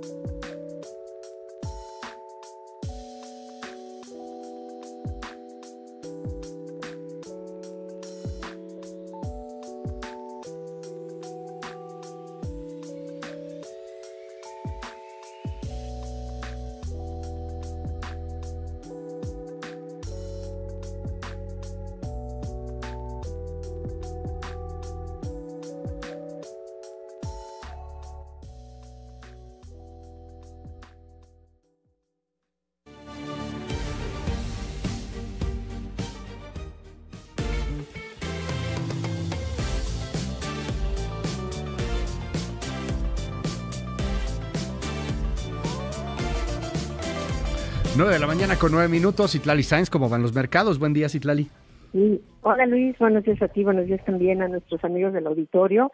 Te comento que están operando mixtos los principales indicadores en Estados Unidos. El Dow Jones Industrial gana 0.18%, el Nasdaq está registrando una baja de 0.36% y está perdiendo el S&P BMW de la Bolsa Mexicana de Valores 0.06%, se cotiza en 57.544.08 unidades. En el mercado cambiario, el dólar en ventanilla bancaria se compra en 16 pesos con 4 centavos, se vende en 16 pesos con 99, todavía está abajo de las 17 unidades. El euro se compra en 17 pesos con 66, se vende en 18 pesos con 21 centavos. Y te comento que el precio promedio de la gasolina magna en la República Mexicana se ubica en 23 pesos con 29 centavos por litro. La rojo premium en promedio en el país se compra en 25 pesos con 11. En la Ciudad de México el precio promedio para el litro de magna es de 23 pesos con 32 centavos, mientras que la premium en promedio se compra en 25 pesos con 52 centavos. Finalmente te comento que está ganando la criptomoneda más conocida, el Bitcoin, 1.94%, se compra en 1.105.224 pesos por cada criptomoneda. Luis, mi reporte al auditorio. Gracias, Itlari. Muy buenos días. Buenos días.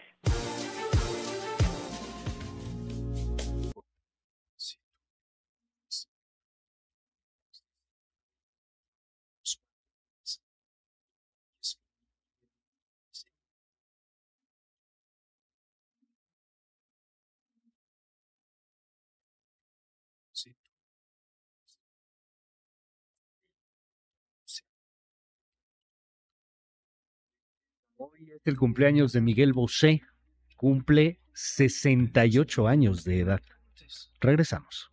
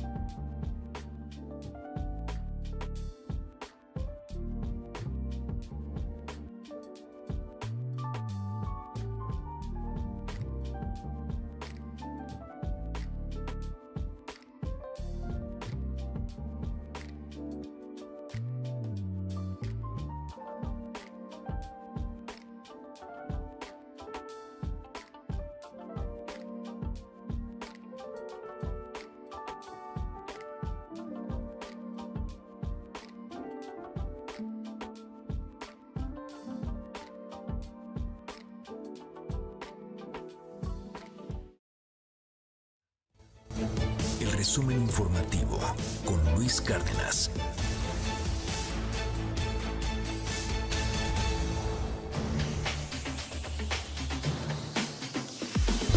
Las nueve y cuarto. Diana Alcaraz es nuestra jefa de información. ¿Cómo estás, Diana? Buen día. Hola Luis, buen día. Buen día a todos los que nos ven y nos escuchan. Y vamos con un segundo resumen informativo. Y es que esta mañana el presidente López Obrador respondió al empresario Ricardo Salinas Pliego, quien le solicitó una entrevista y le pidió hace algunos días una disculpa, una disculpa pública. El mandatario llamó además al Poder Judicial a resolver de una vez por todas los juicios que enfrentan las empresas del dueño de TV Azteca con el SAT.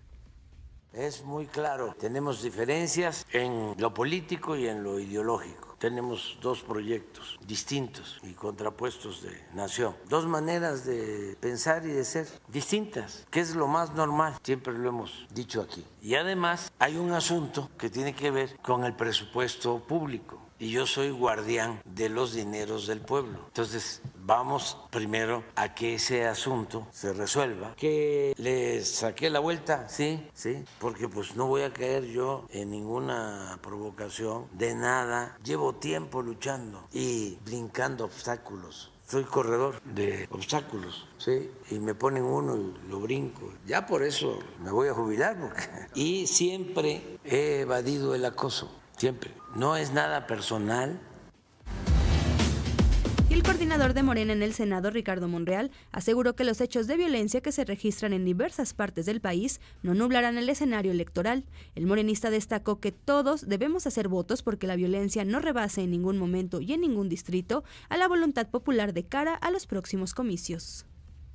No nublará el escenario electoral y todos tenemos que hacer votos porque no rebase en ningún momento ni en ningún distrito la violencia a la voluntad popular.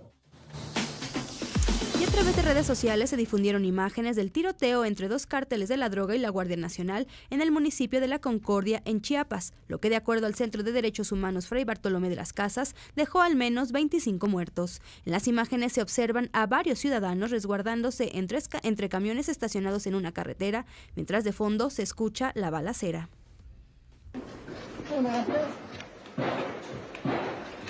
Hay unos que ya se. Lo que tío, Híjole, ahí está esta denuncia del Centro Fray Bartolomé de las Casas. Sí. Estamos esperando pues que venga una confirmación oficial, ¿no? Del, del gobierno, porque no, hasta ahorita no hay ninguna confirmación oficial, aunque el día de ayer lo en algunos medios de comunicación eh, que habían, entendemos, habían buscado justo a las autoridades, las autoridades decían, pues nosotros nada más tenemos nueve, nueve muertos y algunos detenidos, pero nada de manera oficial, ¿sabes? Un comunicado de prensa, que alguna declaración de algún funcionario, del mismo gobernador, que no, que no ha dicho nada, entonces pues seguimos esperando esa, esa confirmación, porque incluso también decían, ¿no? Bueno, Fray Bartolomé maneja 25 y en otras publicaciones decían, sí hubo bastantes muertos, pero los mismos delincuentes se llevaban a los, los cuerpos. Es que ese es uno de los grandes problemas, los delincuentes se llevan a sus muertos en algunas ocasiones o a los muertos de los rivales. Ahora, lo que sabemos es que existió un enfrentamiento entre la Guardia Nacional y presuntos criminales. Sabemos que hubo al menos nueve muertos, aunque no están confirmados y no sabemos si ya contabilizados en las cifras a las cuales les estamos dando seguimiento día con día. Sí, y también de los detenidos, ¿no? Porque no sabemos si sí hay detenidos o no hay detenidos, no tenemos nada oficial. Eh, a ver, hay tres detenidos. Mira, mira el, el, timing que tenemos. Está hablando el presidente de la República del ah, tema. Escuchemos. A ver. Eso es lo que dice una organización de derechos humanos que se quedó este, con la idea de que somos iguales nosotros a los represores de antes. Sí se dio información, sí, fueron dos enfrentamientos de dos grupos en, Chiapas y esa organización de derechos humanos habló creo que de 20, 25, que no es cierto, pues deben de ser como 10 en dos grupos, no, cinco, cinco en una parte y otro día otros cinco. Es que mienten. No, fue un enfrentamiento de dos grupos. Se metieron a un rancho que presuntamente es de un jefe de un grupo y se confrontaron y ahí hubieron al día siguiente, poco después, van refuerzos A ver, este, bueno, ni el presidente tiene muy claros No. los, los números, ¿no? Eh, dice López Obrador que hay 13 personas detenidas, incluidas algunas de nacionalidad guatemalteca, lo acaba de, de señalar, y, y dice que sí hubo como 10, 5 un día, y 5 cinco. otro día, Sí, pero pues, no da la cifra precisa. No, no, no. Y obviamente ataca al centro Fray Bartolomé, que no habla de 10, sino de 25. 25 y dice que miente. Bueno. Pero, Pero, pues- a ver, sabemos, ¿qué sabemos? Nos apegamos a los datos, inclusive oficiales. Hubo un enfrentamiento entre la Guardia Nacional y grupos criminales y hay, de acuerdo a cifras oficiales, al menos 10 muertos. Al menos 10 muertos, 5 y 5, pero también lo que Confirmado. decía ayer el comunicado, el comunicado de, de Ujú. del centro, eh, que decía ojalá y el presidente López Obrador viniera a estos realmente a estos lugares donde están, donde se están enfrentando los criminales y hay Pues sí. bastantes muertos. Pero Digo, pues, en, en la mañanera no van a sacar este video en particular, pero ahí está el video. Sí. Estamos transmitiéndolo, si lo ve a través de MVS en YouTube o en Facebook. Pues ahí está el video, ahí está la gente este, agazapada, este, Sí. co- cobijándose, protegiéndose entre los coches de la balacera. Y hay otros videos, Luis, que están más fuertes, la Sí, verdad, ya no, ya no este, los, Sí, no los podemos pasar tampoco. Pero sí se ven muchas este, Muertos. personas que, desgraciadamente, sí, exactamente, no, no, no, ya, Híjole. ya perdieron la vida. Bueno, ¿y qué Pero más? Dian? bueno, Luis, finalmente te comento, ya más temprano también tú nos adelantabas, pero la gobernadora de Campeche, Laida Sansores, dio de baja a nueve elementos de la Policía Estatal que lideran las protestas en el Estado. Los uniformados son acusados de acoso, corrupción y extorsionar a la ciudadanía. A través de un video, la morenista llamó canallas a estos nueve uniformados y reconoció el compromiso y la lealtad de cientos de policías en la entidad. Dice que no son iguales, entonces, pues llamó a estos nueve a estos nueve uniformados canallas, pero pues ya los policías también ya le respondieron y ellos dicen que no importa, que ellos van a seguir en sus protestas. Escucha a la gobernadora. Siluetas entre las que está la de un traidor como el diputado José Luis Flores, que hoy se muestra como defensor de los policías, pero miente. Él sirve a un exgobernador ruin y oscuro que se vale de todo para lograr sus ambiciones. He decidido enfrentarme a nueve canallas corruptos que los amenazan a ustedes y que han sido denunciados por acosar mujeres, maltratar, corromper y extorsionar a la ciudadanía. Bueno, pues ahí está el tema, Dian. Muchísimas gracias. ¿Tus redes? Gracias Luis, me pueden encontrar en Twitter ahora ex como Diana Alcaraz de. Es Diana Alcaraz, es nuestra jefa de información, las 9 con 21. Vámonos rápidamente a una pausa. Antes, cultura y espectáculos. Y regresando, Nación Criminal con Oscar Valderas. MBS Noticias. Cultura y espectáculos.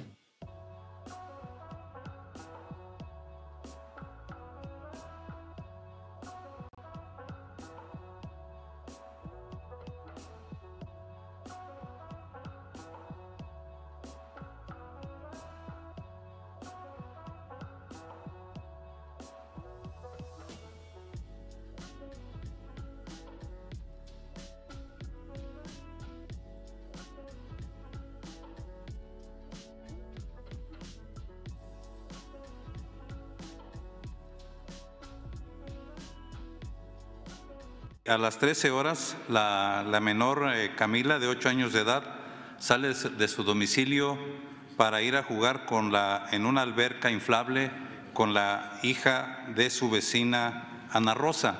Híjole, lo que sucedió en Guerrero con el caso de la niña Camila, lo que pasó en Tasco, yo creo que nos duele a todos como mexicanos.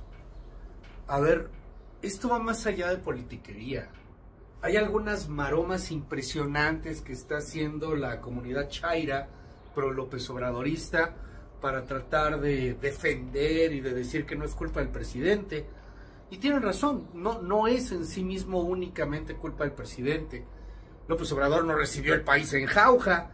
Antes ya estaba esto del nabo, era un maldito infierno. El problema es que, pues pareciera que la 4T le echó más gasolina. Es que esto no se va a resolver con política. Esto se va a resolver cuando usted y yo decidamos cambiar. Cuando decidamos de entrada entender y meternos y tratar de hacer algo para obligar a nuestras autoridades a tomar en serio el tema de seguridad. Y cuando empecemos a ver que el enemigo no somos nosotros. El enemigo no está entre el Chairo y el Fifi.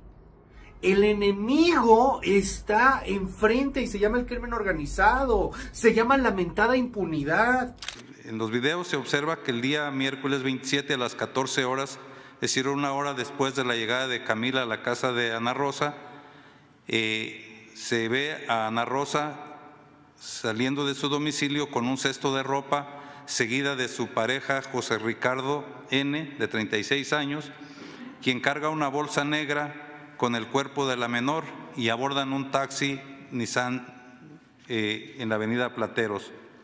Esto a la una, bueno, esto era lo que decían los videos. A las 11.30 del jueves, familiares y vecinos acudieron al exterior del domicilio de Ana Rosa para evitar que los probables autores del homicidio huyeran.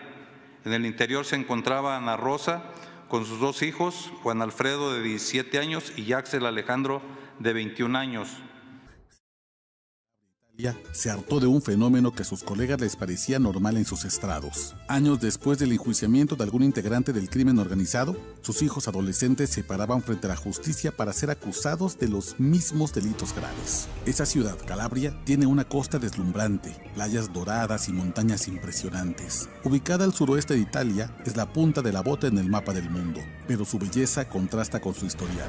Desde mediados del siglo XIX es la cuna de la mafia andrangueta, la más poderosa y violenta de Europa, que ha logrado sobrevivir gracias a un modelo de reclutamiento a partir de la línea sanguínea. Nacer en Andrangueta significa pertenecer siempre a la Andrangueta, a los niños que nacen en las familias que integran esa mafia, como los Mancuso, Beloco, Nirta, Stranjo, Comitzo y más, se les enseña desde la adolescencia a matar, extorsionar, defraudar, traficar drogas, se les transmite el valor de la omertá o el silencio mafioso y el desprecio por la vida ajena. No hay lugar para la descendencia rebelde o la prole que quiere ir a otro camino. A los niños se les forma para continuar el legado delictivo de los padres y a las niñas a casarse con otras familias criminales para que amplíen los negocios. Y el juez Roberto Di Vela lo veía todo el tiempo en su estrado. Con una frecuencia pavorosa tenía enfrente a los hijos de los mafiosos encarcelados desde los 90 o principios del siglo actual. Algo estaba fundamentalmente mal en la lucha institucional contra la mafia, pensó. Los castigos ya establecidos no alcanzan. Y entonces creó un plan que cambiaría el sistema judicial para siempre y sacudiría la ira de la andrangueta.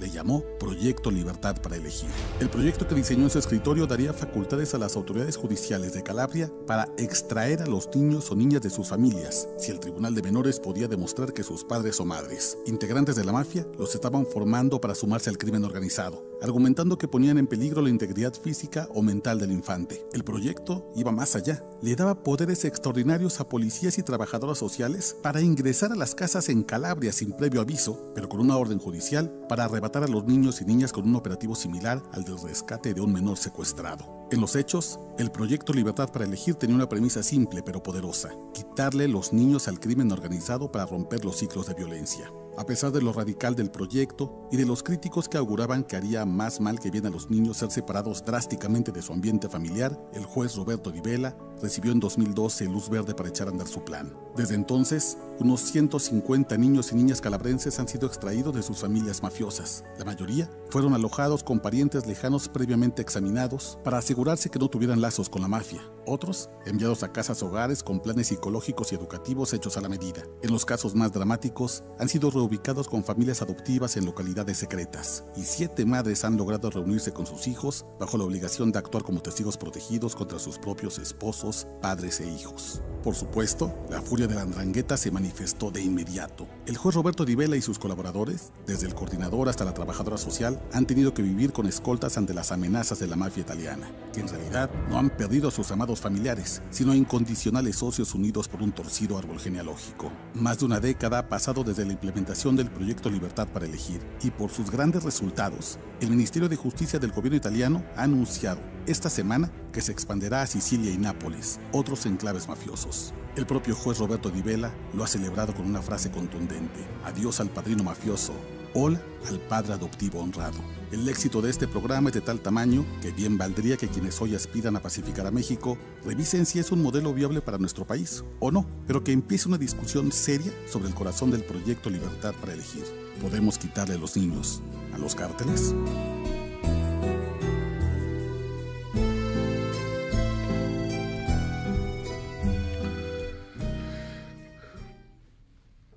No, pues me cae que no somos Italia. Me cae que estamos muy lejos todavía y no sé por qué. Eh, de hecho, creo que había menos terror en Italia cuando empezaron estas reformas. Creo que había menos terror en Colombia cuando se dieron cuenta de que era momento de cambiar. Cuando las sociedades colombianas, italiana, por citar algunas, se dieron cuenta que el enemigo no eran los chairos o los fifís, que no eran los mismos colombianos o los mismos italianos, sino claramente una mafia que estaba apoderándose de sus países. Qué lástima que no somos Italia, ¿no? O que estamos tan lejos. Insisto, no se trata de, de descubrir el hilo negro. Ahí están ya muchos ejemplos de cómo se pueden hacer las cosas. Hermano querido Oscar Valderas, con toda admiración te mando un abrazo. ¿Cómo estás, Oscar? Hermano querido, buenos días. Qué, qué, gusto saludarte ahora por teléfono, pues porque las agendas luego no nos permiten. Pero bueno, acá presentes. Y mira qué importante lo que dices. No se trata de descubrir el hilo negro ni el agua tibia. Ya hay modelos internacionales que han marcado con suficiente éxito un camino que yo digo, vaya, no imitémoslo eh, sin mayor reflexión, pero al menos vayamos a un debate sobre si son protocolos que pueden aplicar al, al, digamos, al contexto mexicano. Hay quienes dicen que, por ejemplo, que el sur italiano es en realidad muy latinoamericano, que las dinámicas familiares, la manera en que las comunidades tejen lazos, se parece mucho a la manera en que lo hacemos en América Latina.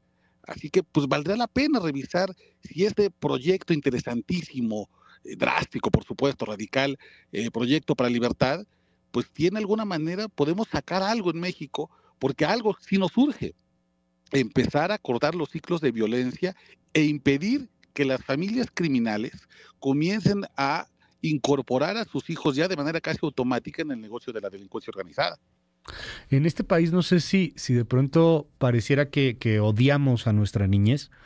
Eh, son los que más sufren. Veía por ahí algunos estudios y dentro de, de los índices de pobreza, los más pobres son los niños en muchas ocasiones, pues porque están en, en, en familias, en, en, núcleos en los cuales pues simplemente ya no les dan nada, no los apoyan con nada, son los que más hambre tienen en este México. Con, con tantas desigualdades y, con tantas injusticias, y son los mejores para ser presas del crimen organizado, los, los sicarios chavitos, los mejores mulas, eh, los, los que terminan pues por tener ese único futuro, ¿no?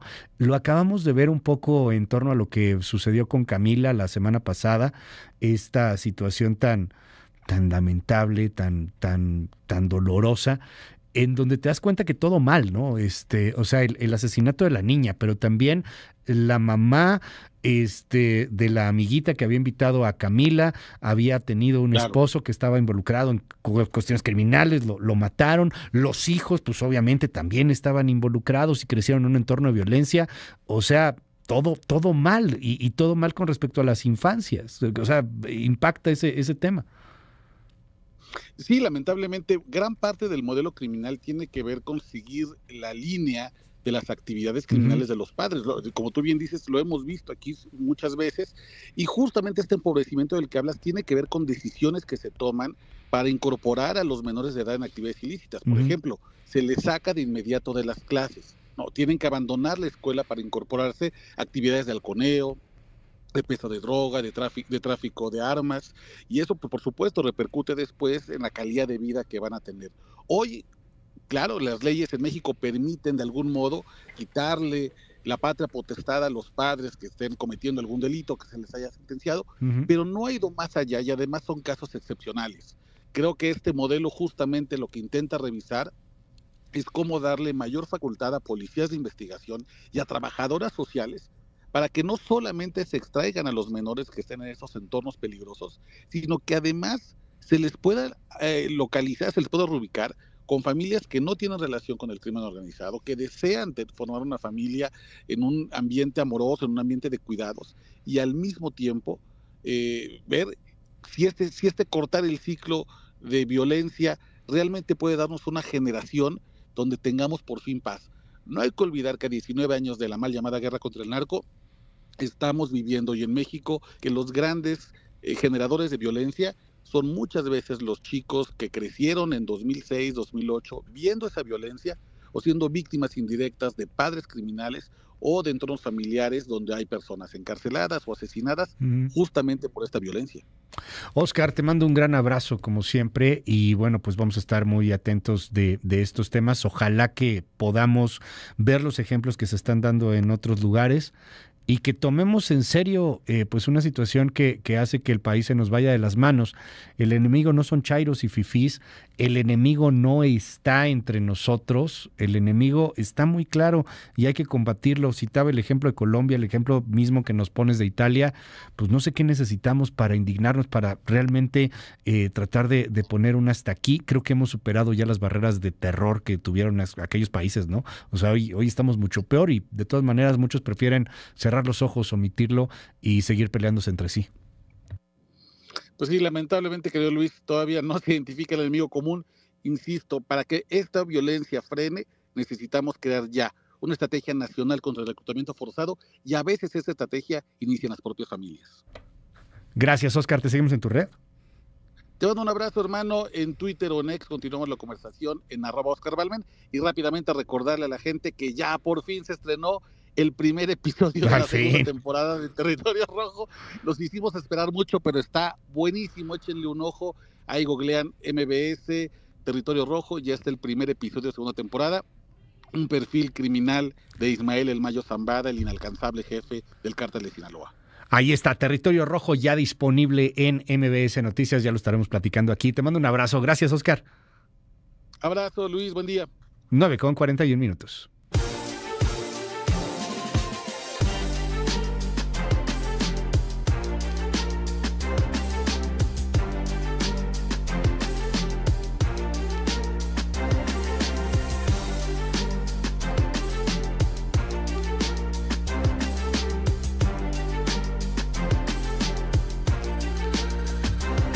Vámonos con más información. Oiga, entre toda la politiquería, a mí me llama la atención que casi nadie está hablando de temas que tienen que ver con el cuidado del medio ambiente y la bronca en la que estamos sometidos por el tema del cuidado del medio ambiente.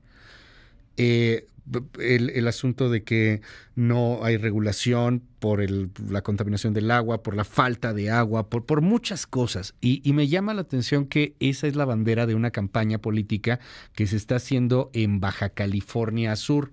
Tengo en la línea a Susana Satarain, ella es candidata al Senado de la República. Te aprecio, Susana, que me tomes esta comunicación. ¿Cómo estás? Buen día. Encantada de saludarte, Luis. Mucho gusto estar conectada contigo y con todo tu auditorio. Buen día. Buen día. Oye, la bandera medioambiental me llama la atención, te sigo ahí en tus redes sociales y hablas constantemente de este asunto, el cuidado del medio ambiente, algo que ya nos pegó. Hoy tenemos el cambio climático en, en zonas como la Ciudad de México, estamos a 33 grados y bueno, estamos muriendo, ya sé que para ustedes es casi nada, pero aquí de verdad que, que nos saca de onda porque además no estábamos acostumbrados a que se den estos momentos. Eh, otros lugares con un frío súper extremo, el asunto de la falta de agua, etcétera. Cuéntanos un poco, pues, ¿qué estás proponiendo para tomar esto con mayor seriedad y además llevarlo al Senado? Sí, Luis, fíjate que vivo en uno de los estados más maravillosos de todo México, Baja California Sur.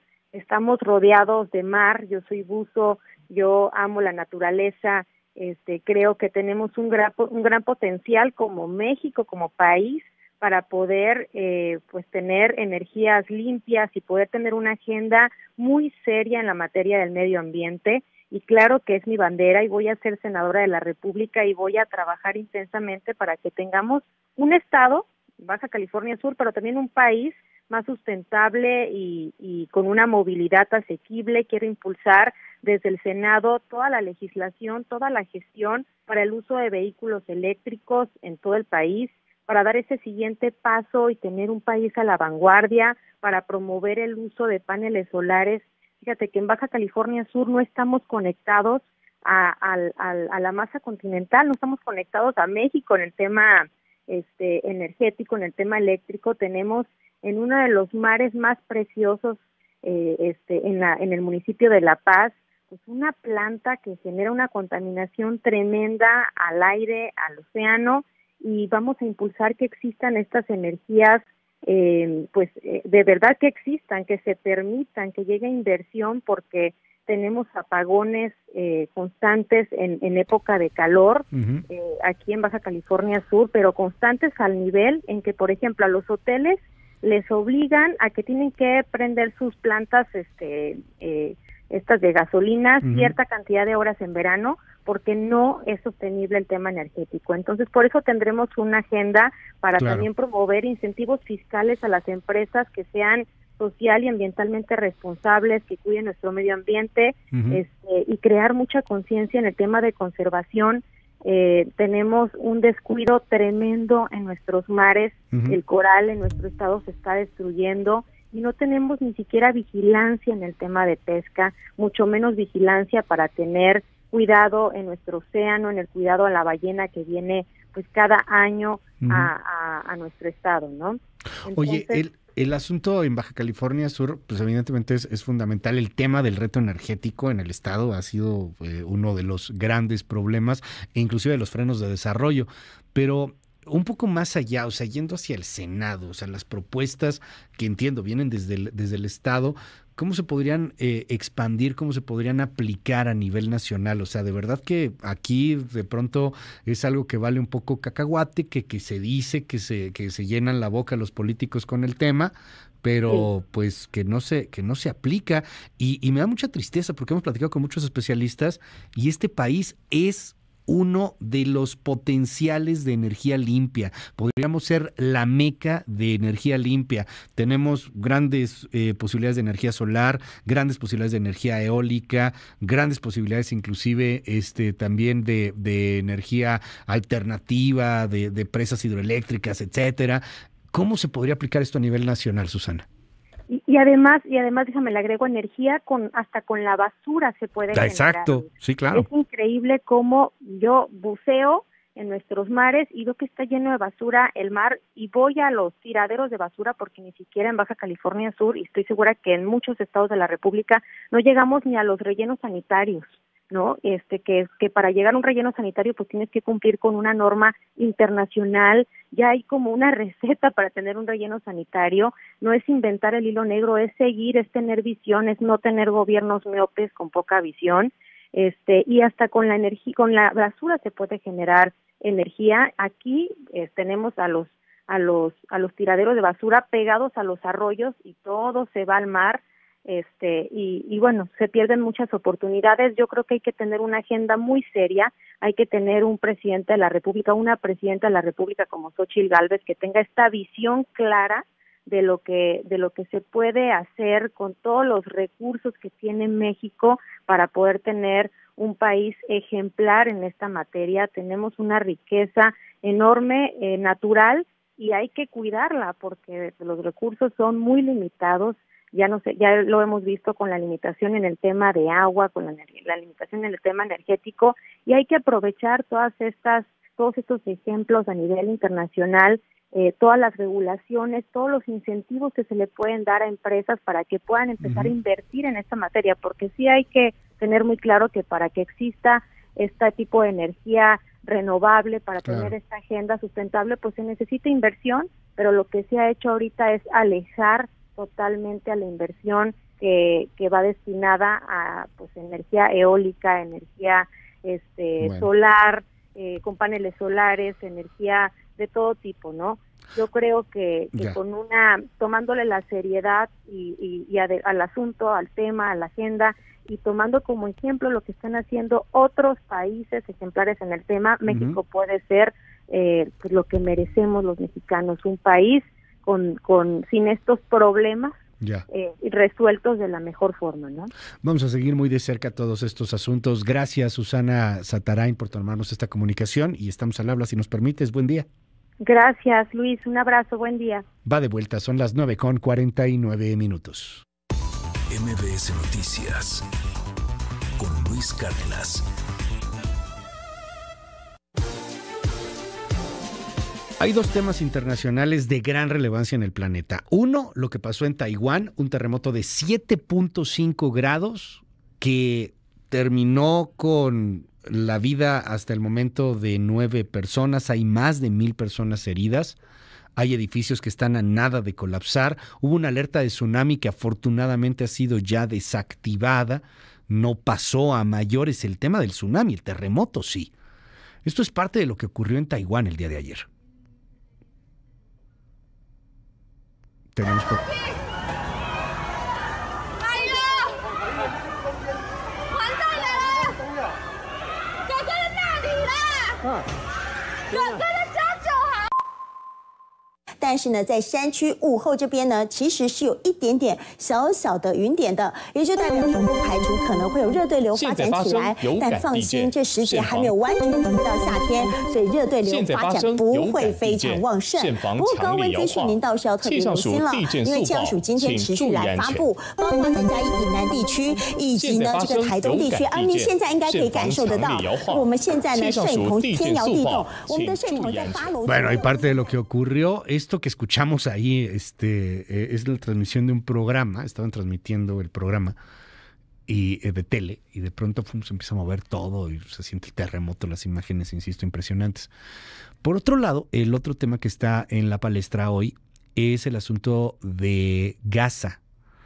Ayer, en un gravísimo error, craso error de gobierno Netanyahu, de la inteligencia Netanyahu, del ejército israelí, mataron a siete trabajadores humanitarios.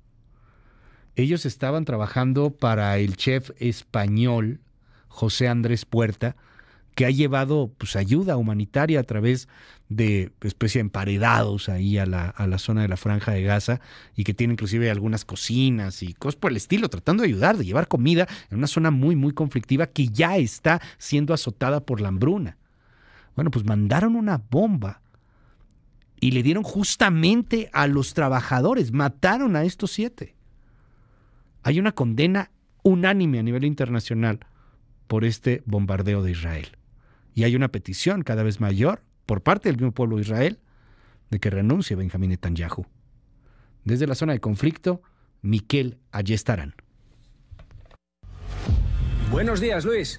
El ejército de Israel revela los primeros detalles de la investigación sobre su ataque contra el convoy de la ONG World Central Kitchen y dice que se debió a un error de identificación. Siete empleados de la organización del chef español José Andrés fueron asesinados por el lanzamiento de tres misiles contra los vehículos en los que viajaban en Gaza. Los fallecidos son de Australia, Polonia, Reino Unido, un ciudadano con doble ciudadanía de Estados Unidos y Canadá y Palestina, y algunos de ellos tenían una dilatada experiencia trabajando para la organización en otras zonas de conflicto como Ucrania. El movimiento del convoy estaba coordinado con el ejército, pero un dron abrió fuego en tres ocasiones contra unos coches que estaban perfectamente identificados. El ejército tenía todos los detalles de la operación. La condena internacional es unánime y la encabezan países como Estados Unidos, donde el chef José Andrés es una persona muy reconocida. Israel habla de trágico error y promete llegar hasta el final en la investigación. La muerte de estos siete empleados de World Central Kitchen se suma a la larga lista negra de miembros de organizaciones humanitarias que Israel ha matado en estos seis meses. La Agencia de Naciones Unidas para los Refugiados Palestinos denuncia la muerte de 176 personas de su equipo y Médicos Sin Fronteras también ha perdido a cinco médicos en los ataques israelíes.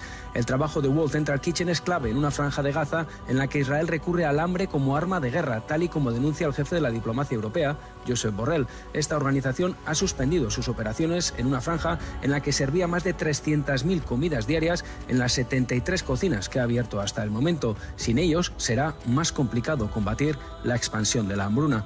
Para MBS Noticias, Mikel ahí estarán.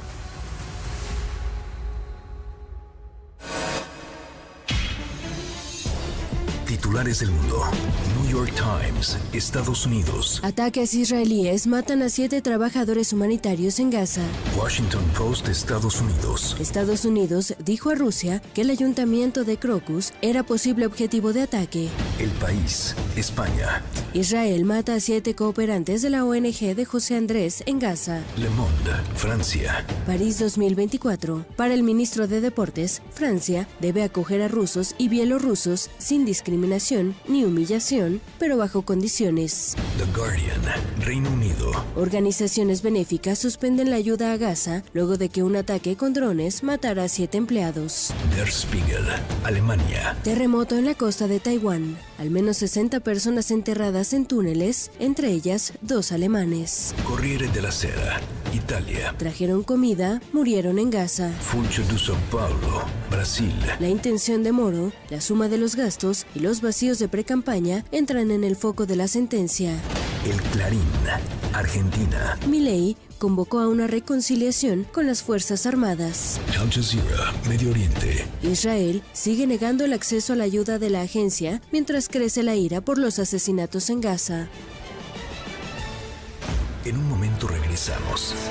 Continúa con la información con Luis Cárdenas en MBS Noticias. La ola de ofertas llegó a Soriana. Lleva el segundo al 50% de descuento en todos los chiles envasados. Soriana, la de todos los mexicanos. Abril 3, aplica restricciones.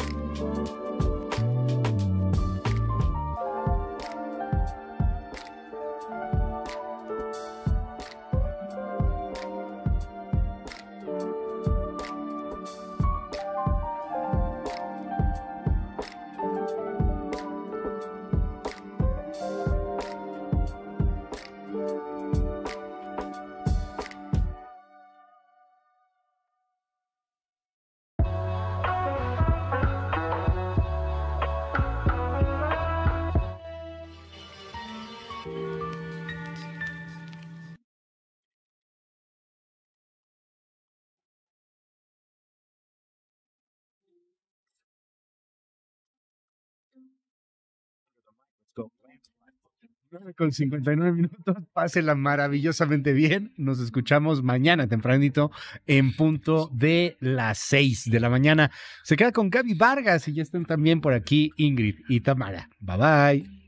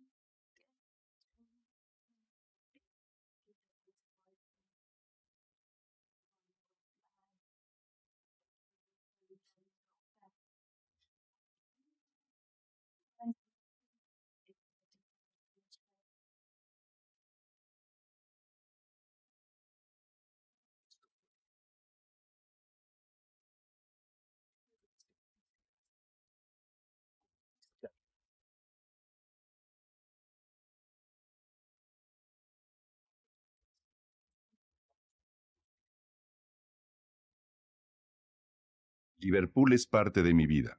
Presenta. No importa cómo estés, siempre puedes estar mejor. Mejor. Con Gaby Vargas.